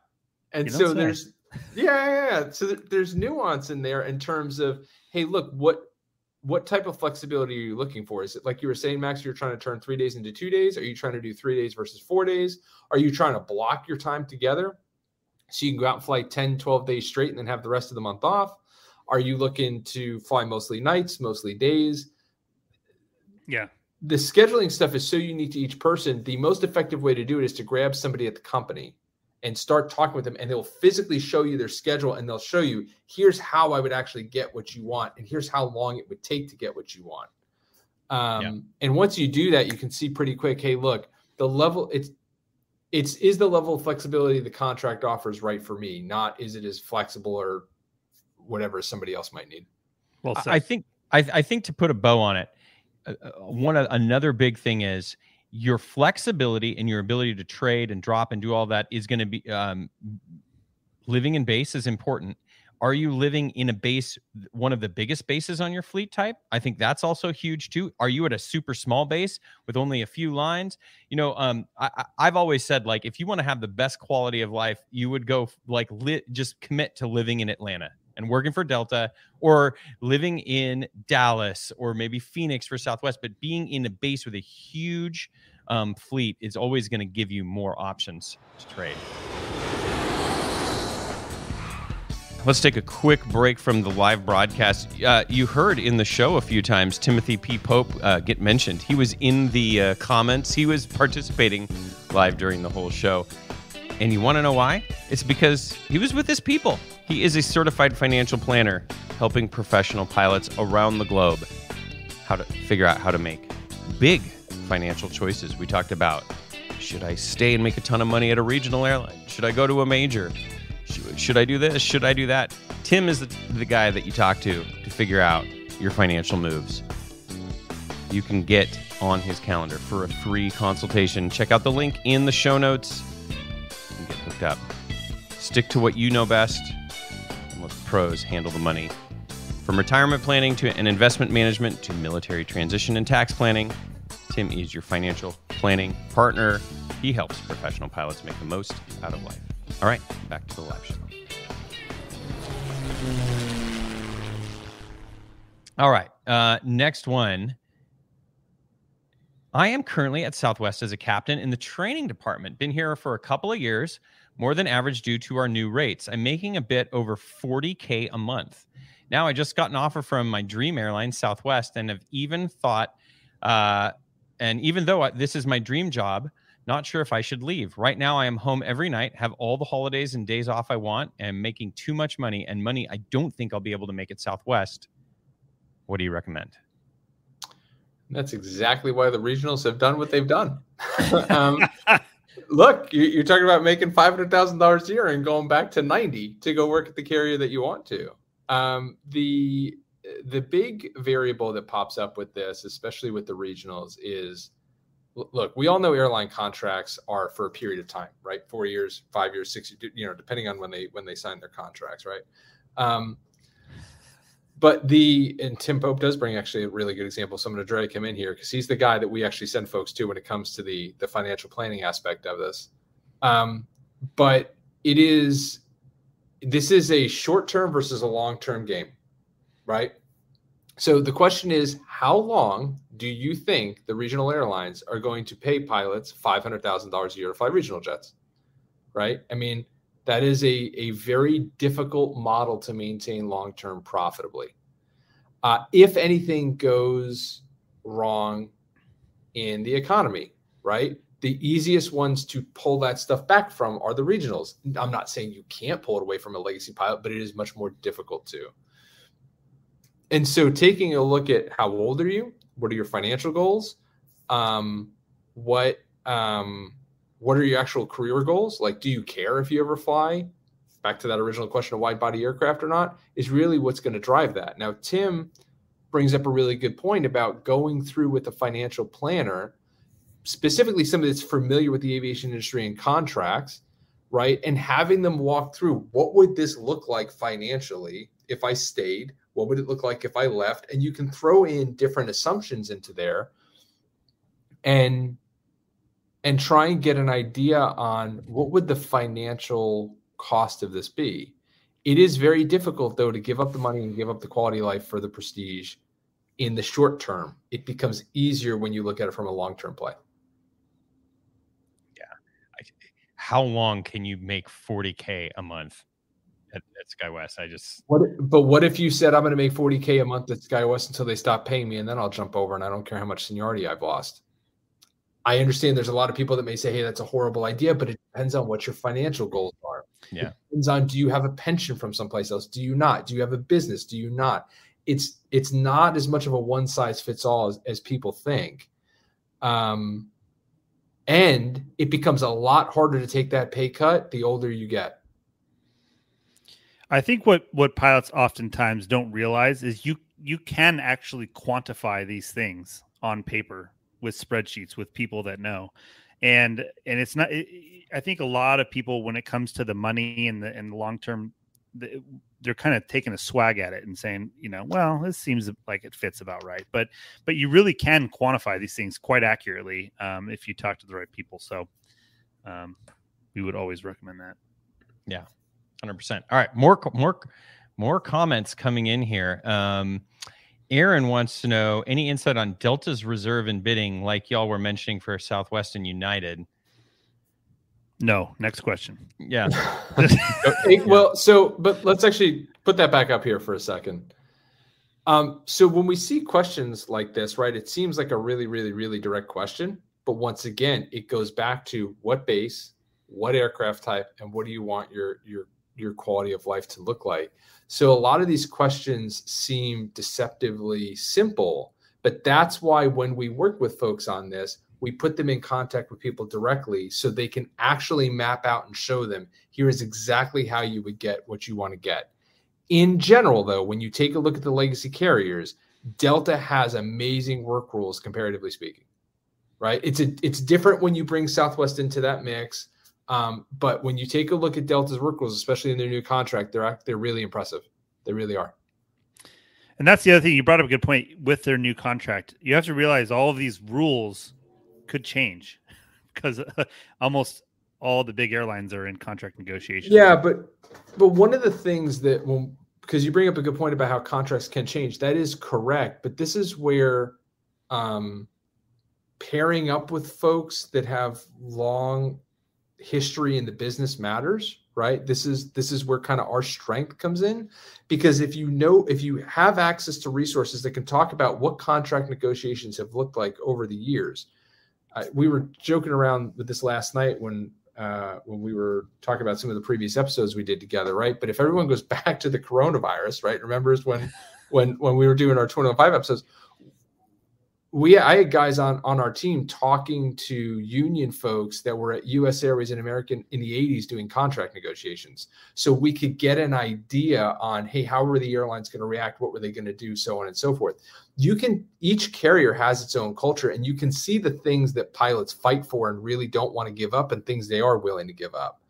And so, yes, contracts do change, but it really does help to get in touch with the right people so you understand the culture and the history of the company in terms of like, hey, look, what are the things that pilots are going to go run to the hill on with flaming swords and fight for? And what are the things where when they go to take it away, they're going to go, eh, it was good while it lasted, Yeah. but it, we don't have every, it pilot, every pilot group has those things that they Yeah. non-negotiable that people Exactly. yeah And, and and and you know what, James? It reminds me of during those coronavirus um, episodes. What did you teach people? It's how to network online, right? Especially in LinkedIn. And so for folks that are listening right now, they're probably going, "Well, I don't know anyone at Delta, maybe." Um, and and LinkedIn, which we're broadcasting on right now, is one of those great tools. Um, and you guys have specific training on how to actually make those connections and start to be able to have those conversations. we get on and screen share the LinkedIn profile and write the messages with them, right? And we show them how to write messages that are not canned, that are genuine, that you can use repeatedly to get a conversation started, because that's the hardest part. The hardest part is the approach. It's how do you get the conversation started? Once someone's in a conversation, they can carry it on their own, no problem, right? It's the getting the conversation started. Yeah, we'll sit down with you one on one. We'll actually help you write the messages. And they work. Can be done. Yeah. Like really well. It's like having a good pickup line at the bar. Just got to get right. the Exactly. conversation started. That's right. If you were a booger, I'd pick you first. oh God! and that's how James got his wife. yeah, yeah. Lucky, lucky gal she is. Right, Eileen? Here- I can't wait for her comment next. Yeah, yeah. I'm about to Uh, get okay. eviscerated. I think I have. I think I have to go. yeah, that's right. This is it. Last last live appearance for James. It was Yeah, great exactly. One and lasted, only. Yeah. Um, okay. Um, Mock Jesus uh, writes in and he says, uh, "Can you provide any general insight as to how check ride failures may impact career progression? Scenario is a CFI with a hu- uh, thousand hours, restricted ATP, and three failures. Goal is 121 flying. I come on and do a live with you, and now I'm getting rejected by my own wife live. Thanks, guys. This is progressing well. um, okay, so check ride failures. So, um, the reality is uh, there is um, almost nothing you can have in your background that we haven't seen. Uh, and I won't go into specifics just because we sign we at Raven sign confidentiality agreements with all the clients that we work with. Um, it's one of the ways that we guarantee their comfortability in terms of sharing information with us that they know, hey, look, it's not going to be, it's not going to, I'm not, we're not going to take their information and share it publicly. Okay, so that that's the first thing. So we sign confidentiality agreements. So I could talk in generalities, but I can't talk like, hey, this specific person. Um, DUIs, criminal convictions, terminations, dishonorable discharges, other than honorable discharges, check ride failures, multiple check ride failures, right? And the list goes on and on and on of things of of clients that we've worked with that have that that are at legacy carriers. So the bottom line up front is it is not going to to limit you in the slightest. Now, when we talk about check ride failures, there are a couple of things to be aware of. So the first is recency does matter with certain carriers. Um, there are uh, kind of the unofficial term is like a second chance carrier. There are certain carriers that are second chance carriers. Basically, hey, you trip and fall, get right back up. Hey, look, man, we're going to give you the shot right now. There are other carriers that are a little bit more conservative, meaning they want to see a year or 24 months between the check ride failure. That is uh, individual to each carrier. I, I won't go in and list every one of them, but we know which ones are going to give you the chance, which ones are going to want. That's for our premium subscribers. If you want to uh, get that list, we'll be happy to sell that to you. Well, yeah, it'd be the next hour and a half of me talking about what Yeah. each of the individual carriers do hiring wise to go into that. So, okay, so so that's that's first. Um, the the second component of it is we're, they're looking at trend, right? So, did you fail your private, your instrument commercial, and your CFI, right?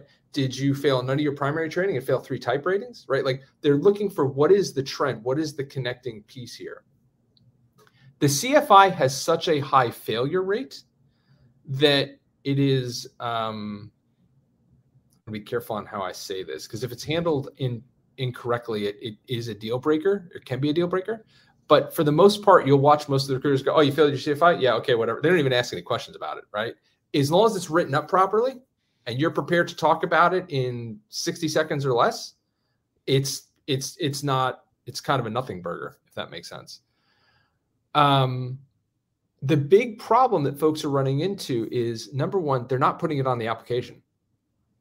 They're they're getting creative with how they're reading the application, um, and it's difficult because uh, each individual carrier, especially now that um, the carriers have been kind of spearheading creating their own applications. Everyone saw probably American opened up their own now new internal application here last week. United has theirs. Um, FedEx has it. Right.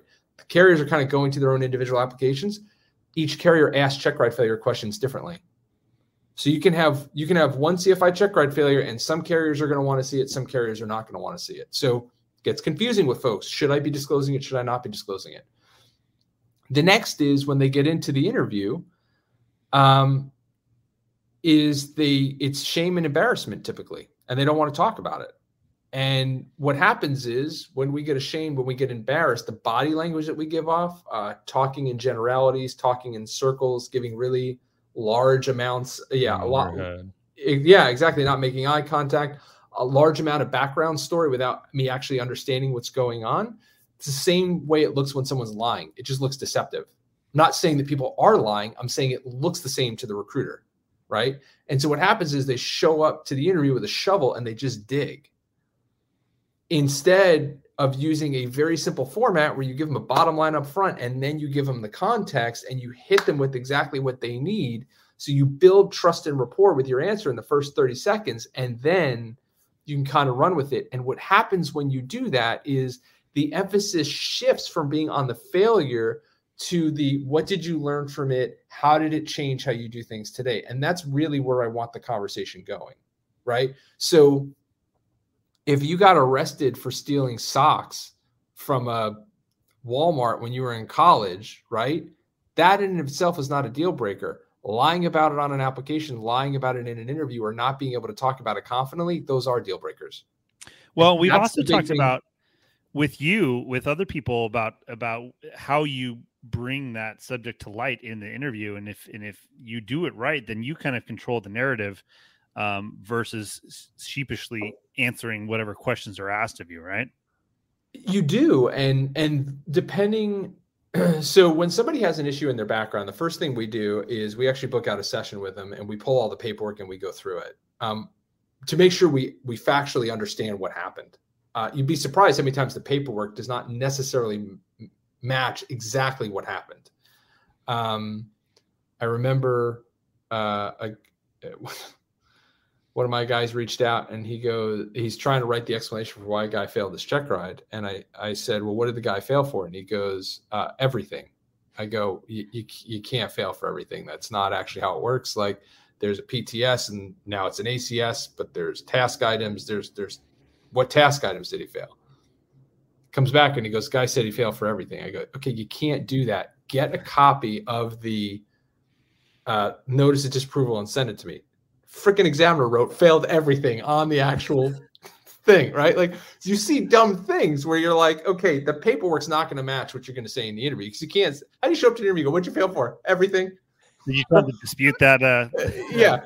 So, so the first is we start with the paperwork. Um, we help folks run background checks. We help them pull paperwork. There's a lot of different tricks we can do kind of behind the scenes to make sure you get those records. There's a lot of times where people can't get records because they don't exist anymore. Um, so we can kind of piece things together. Okay.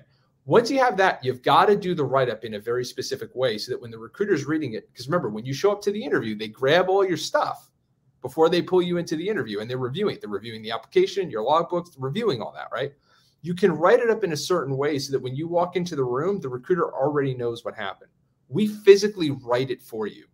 We don't have you write it, send it to us, and we proofread it.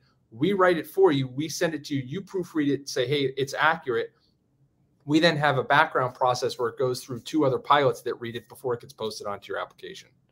And then we actually tell you specifically what questions to post that onto.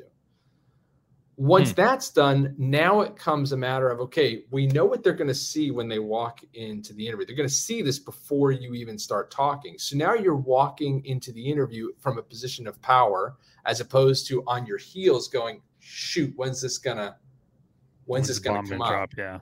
Then we talk about the four different places that that back background issue can pop up in an interview, right? And now we start talking about, you know, um, what areas do you have control of when it pops up? What areas do they have control of when it pops up? And how do you leverage those opportunities?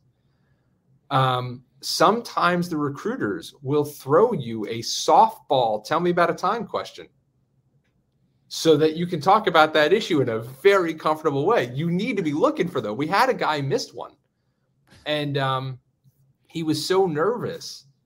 He he he went into the interview, and the recruiter asked him, "Tell me about a time question," and he gave a you know customer service one. The guy goes, "I think you probably got a better one. How about that failure over there?" Right? Guy threw him a softball. So when they threw the softball, hit it right? Take advantage of that. So you need to know we don't want any surprises in the interview. You need to know where that stuff is going to pop up, how it's going to pop up, what all the resources are the recruiters have to bring those up, and then how do you talk about that in a comfortable and confident way. It's also the reason that why when we do interview prep with people, we video record everything. So they can watch themselves back and fit like we're pointing out the body language so they can watch back and go, oh, yeah, that's where it is. And then we have them take their phone and they record it over and over and over and over and over again. And then they listen to it back. And then we come and we practice it again and again and again. And we have two or three people observe them doing it. So they're getting multiple pieces of feedback. There's a there's a process to it so that by the time remember when you did your first V1 cut and your engine, your hands were shaking after that engine failure? And after about the 10th one, you're like, oh, I just got to do these three things and it's fine. It's the same way it works for the interview prep. You can, you Okay. can talk about it so many times that when you walk in, it's not, doesn't cause anxiety. That was good stuff. We're taking a quick break from live flight advice to thank our sponsor, Harvey Watt, the world's largest provider of loss of license insurance. If you're a professional pilot and you depend on that income to support your family, make sure you're covered in case you lose that ticket. HarveyWatt.com. They have coverage, life insurance, everything you need to keep your income stream We've got a couple more we got to get to before we get to the rapid fire session here. Uh, Nick's asking us a lot of my older mentors are bragging about the airlines because of the money. Do you think that corporate will eventually keep up with pay, or do I have to sacrifice pay for quality of life? Well, that's the million dollar question right there. Oh, yeah.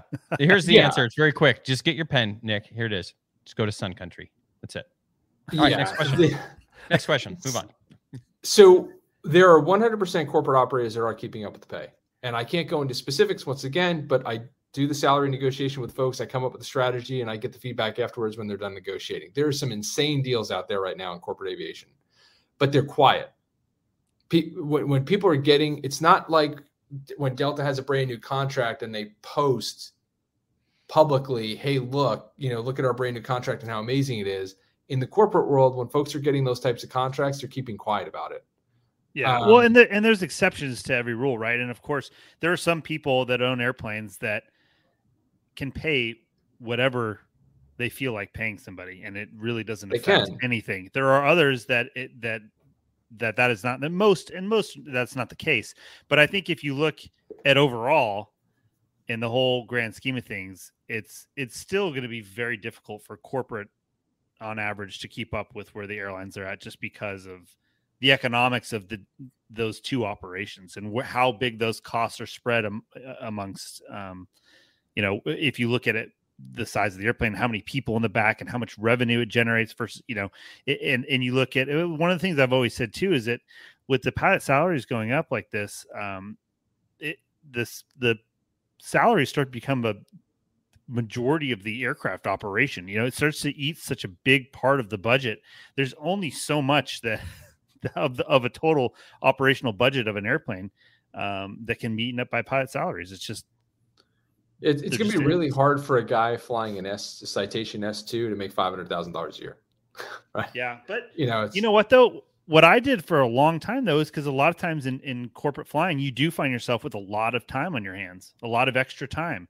And if you're productive with that time, you can certainly, you know, close that gap. I, I sold real estate for a long time and I sold and I hustled hard when I was not flying airplanes, selling houses. And uh, there were years I made more money than th- doing that than flying the airplane I was flying.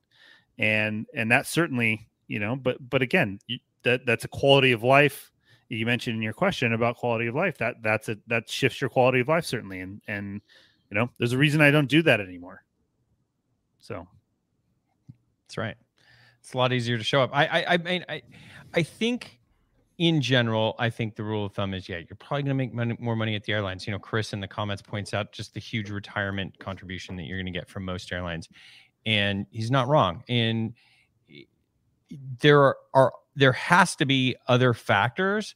I think, you know, Max, you have a really good saying, you know, what is the prime, what is your prime asset? Is it time, time or yeah. is it money? Is it health? Is it relationships? You know, those are all very important things. And for every person, that balance is going to be different. And so, you know, what's what I think is really hard in the pilot journey, especially when you're starting out, is that you cannot conceptualize – what your the job will how it will affect your personal life later on when you're married when you have kids when there are things at home that you need to be at and that is really hard when at least for me was really hard to to realize what was going to be important later in life and then again that may change again because you know my kids will be gone at some point and um and then I, I might want to do something different so it's i think it's really hard to quantify one specific thing for one part in time. that makes sense. Well, and the other thing too with business aviation that that's always been difficult is that you never know what to count on, like yeah. long term. It's it's a, a a lot of times corporate jobs, like we've said, it is a is a job versus a career, and it's in yeah. at the airlines, which is you know you don't ever know anything long term, um, but you can certainly have a better idea, I think, over the course of a career, kind of what you're looking at at the airlines versus uh, corporate. So, which which certainly affects all things: money, yeah. time, retirement. You know, all the things we mentioned. Here's a perfect example from my son, uh, posted via my wife. He goes, "I don't like it when you go to training." It would be cool if you didn't miss my birthday this year. I go to training every single year over his birthday, just the way it works. And so those are the things that you would never think about when you're 25, right? you would you would be um, you would be thinking about oh, I want to fly to cool destinations, or you know, I need to make the most money, whatever it is, and you're not thinking about your kids' birthdays and that kind of stuff. So lots to think about. Um, Look at Rob right here. He says, keep your 90 year old self happy with whatever decision. Put it this way very few people at the end of their life have ever looked back and be like, God, I wish I would have just made more money. Yeah. That's very, very few people say that. That's actually like statistic because I was listening to this podcast I mentioned before about a guy that writes books about this stuff. But um, but yeah, most people's regret at the end of their days is time related, not spending enough time with family or not doing more, not traveling enough, you know, things like that. So so the younger people are forced to make these long-term decisions about their 40-year career at the airlines. Um, I think that that decision is more challenging because you just don't have as much reference to to draw from. But yeah, here's here's the conflict, right? Um, everybody knows money doesn't make you happy, but everyone wants the opportunity to prove that uh, prove that true, right? That's so true. It's very true. It's always easy to say, but uh, yeah, that it, it look for most people it is hard to stare and look. I, I I'm someone that does it.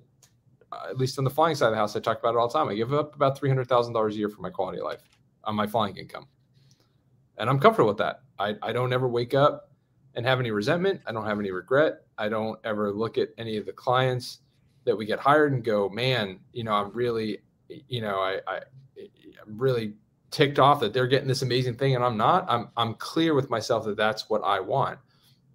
For a lot of people, they've got to go try it to find out if they want it or not. Right? Well, You'd be surprised how many people are going to um, to airlines and then leaving either to a different airline or like I mean they're getting hired at a legacy airline going to a different legacy they're getting hired at a legacy going back to corporate because until they get there they don't you don't actually know the, the what we've what we tried to explain before is that uh, it's it's easy to realize how much uh, you know not being able to have your own airplane really means until you've had your own airplane or that boat or whatever you want.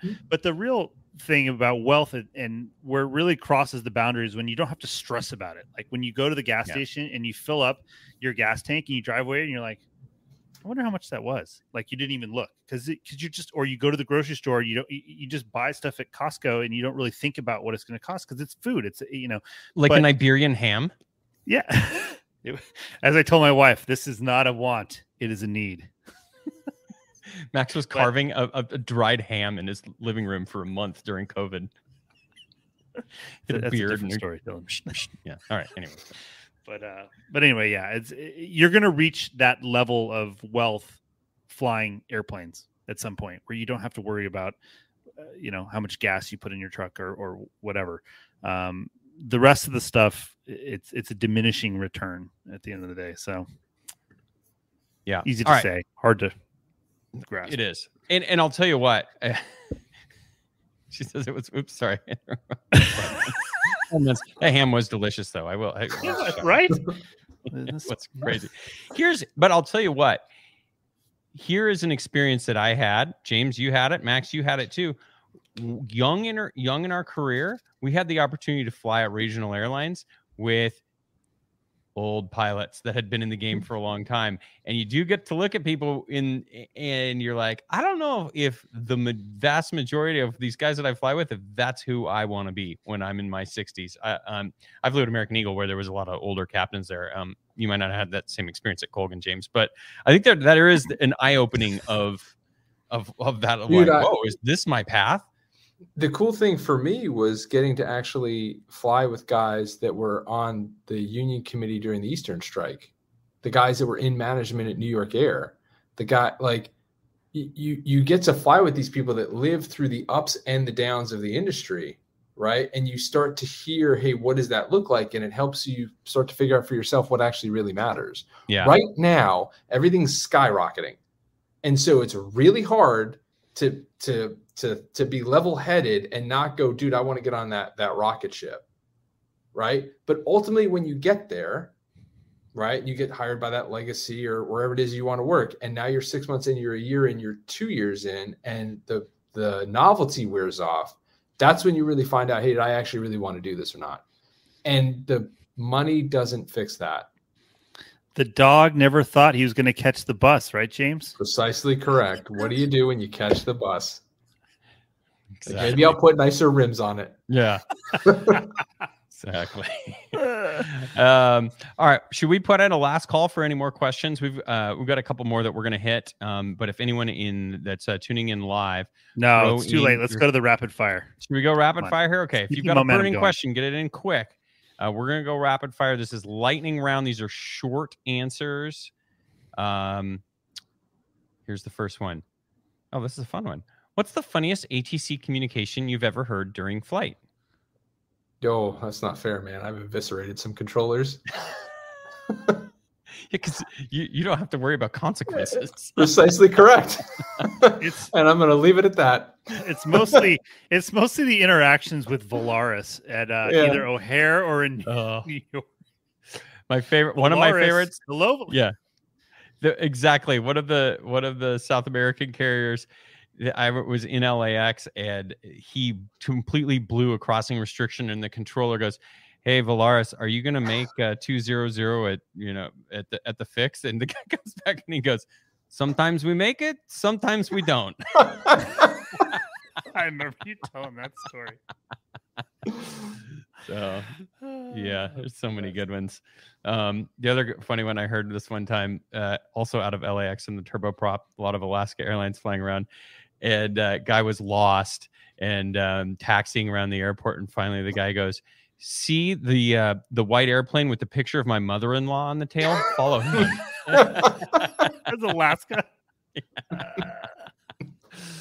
so That's uh, so good.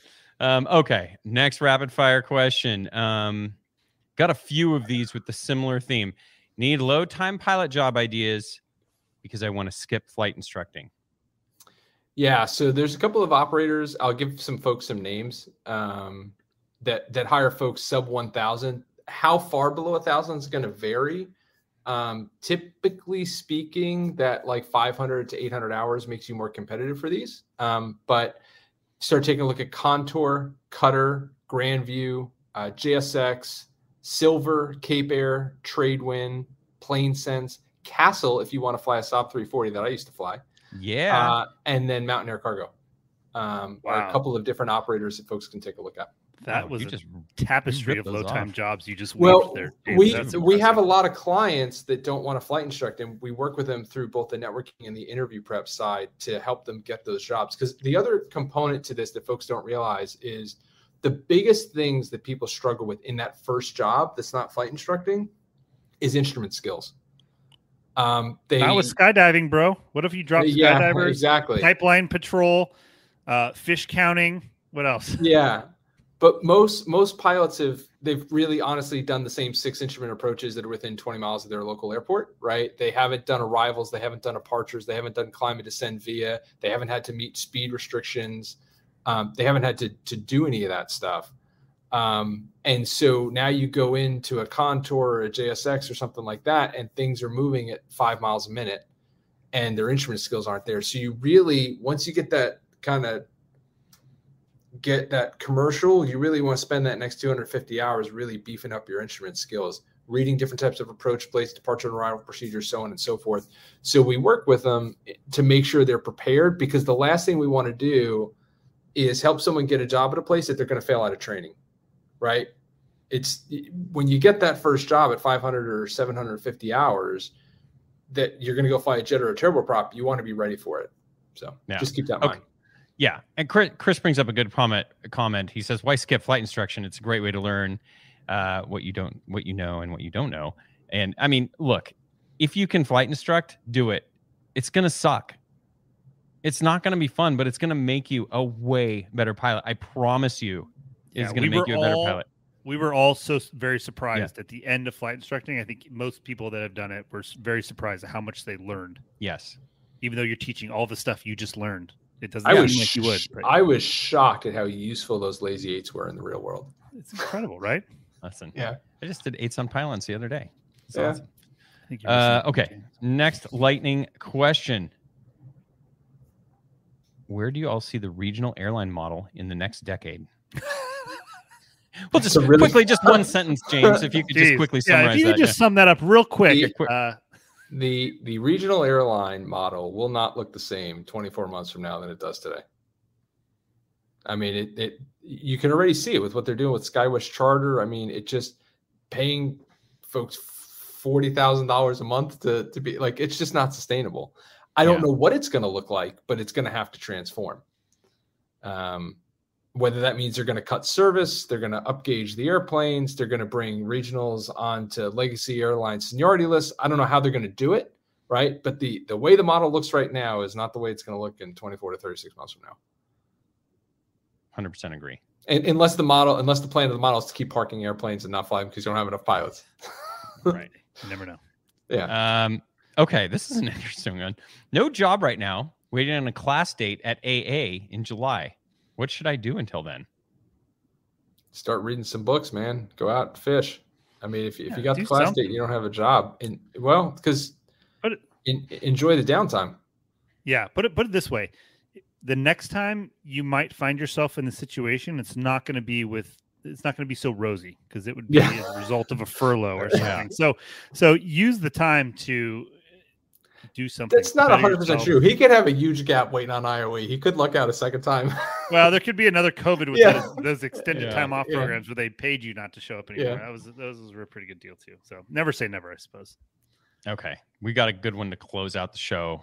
This is oh Brian wants best crash pad stories. Dude, the best ones we can't talk about. yeah. We'll just say that. Guys dressing up in pilot uniforms and going down to the local hotel with a bag in their hand so they can eat free breakfast that they couldn't afford when regional airpl- airline pilots weren't paid anything. Bri- Brian was my old roommate, and we used to live right below a crash pad. So we had some. You know the stories. You were in them. That's why he's asking for you to tell them. He wants yeah, to protect the exactly. Yeah, right. Exactly. Um, okay, this one's very serious, guys. We have an airman with a broken heart.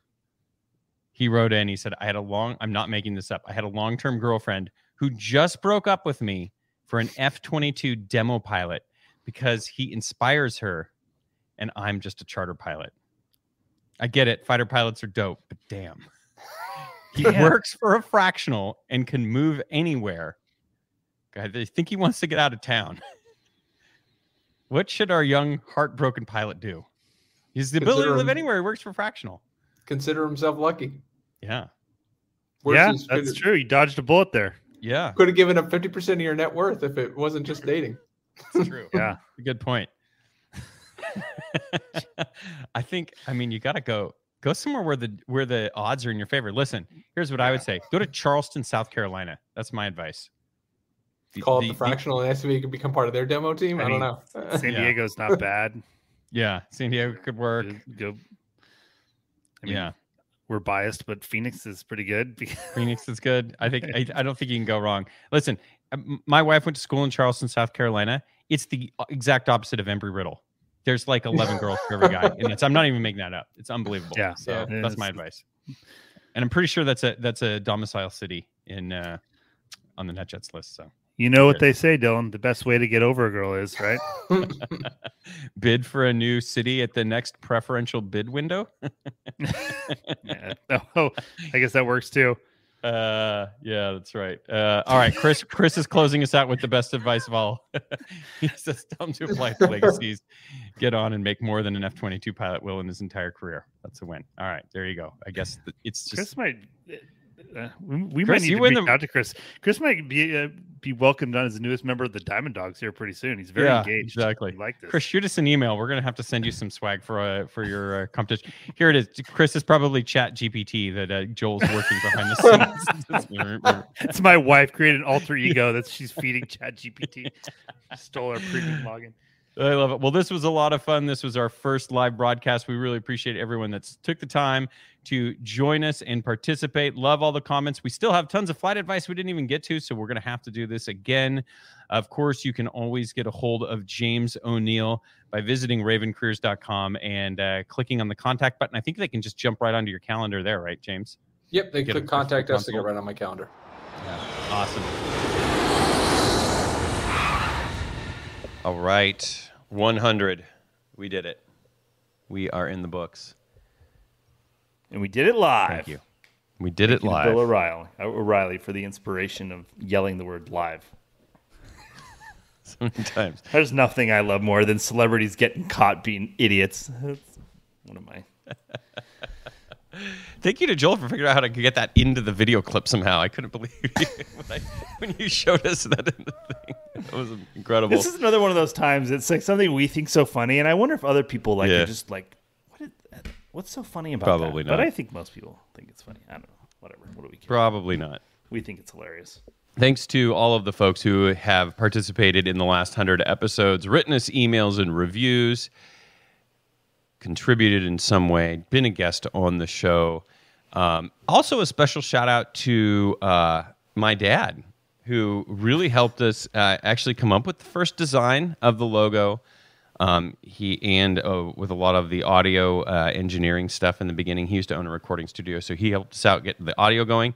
And of course, some of you may have met him as the uh, 215 apostle in the airline or terminal with our business cards, handing them out to every single pilot he sees. And here's the weird thing: he was just visiting a couple of weeks ago. He said he's still never run into a pilot that's heard of our show. He hands our business Ouch. cards out to everybody, and no one has ever been like, "Oh yeah, I know that show."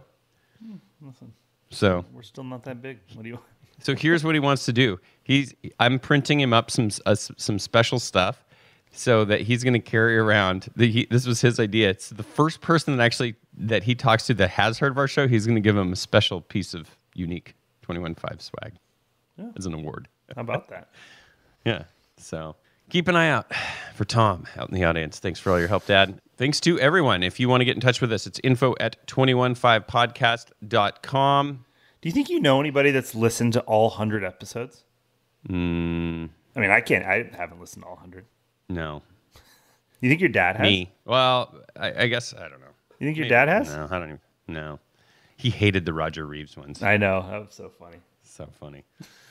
Uh, all right. Well, uh, I'm, let's uh, Joel. Let's go ahead and have Sting play us out on our live uh, to end our live uh, episode here. That's right. Okay. Uh, for the first hundred, thank you so much, and let's remember for the next hundred, flexibility is the key to air power. Hopefully, we'll see at 200. See everybody.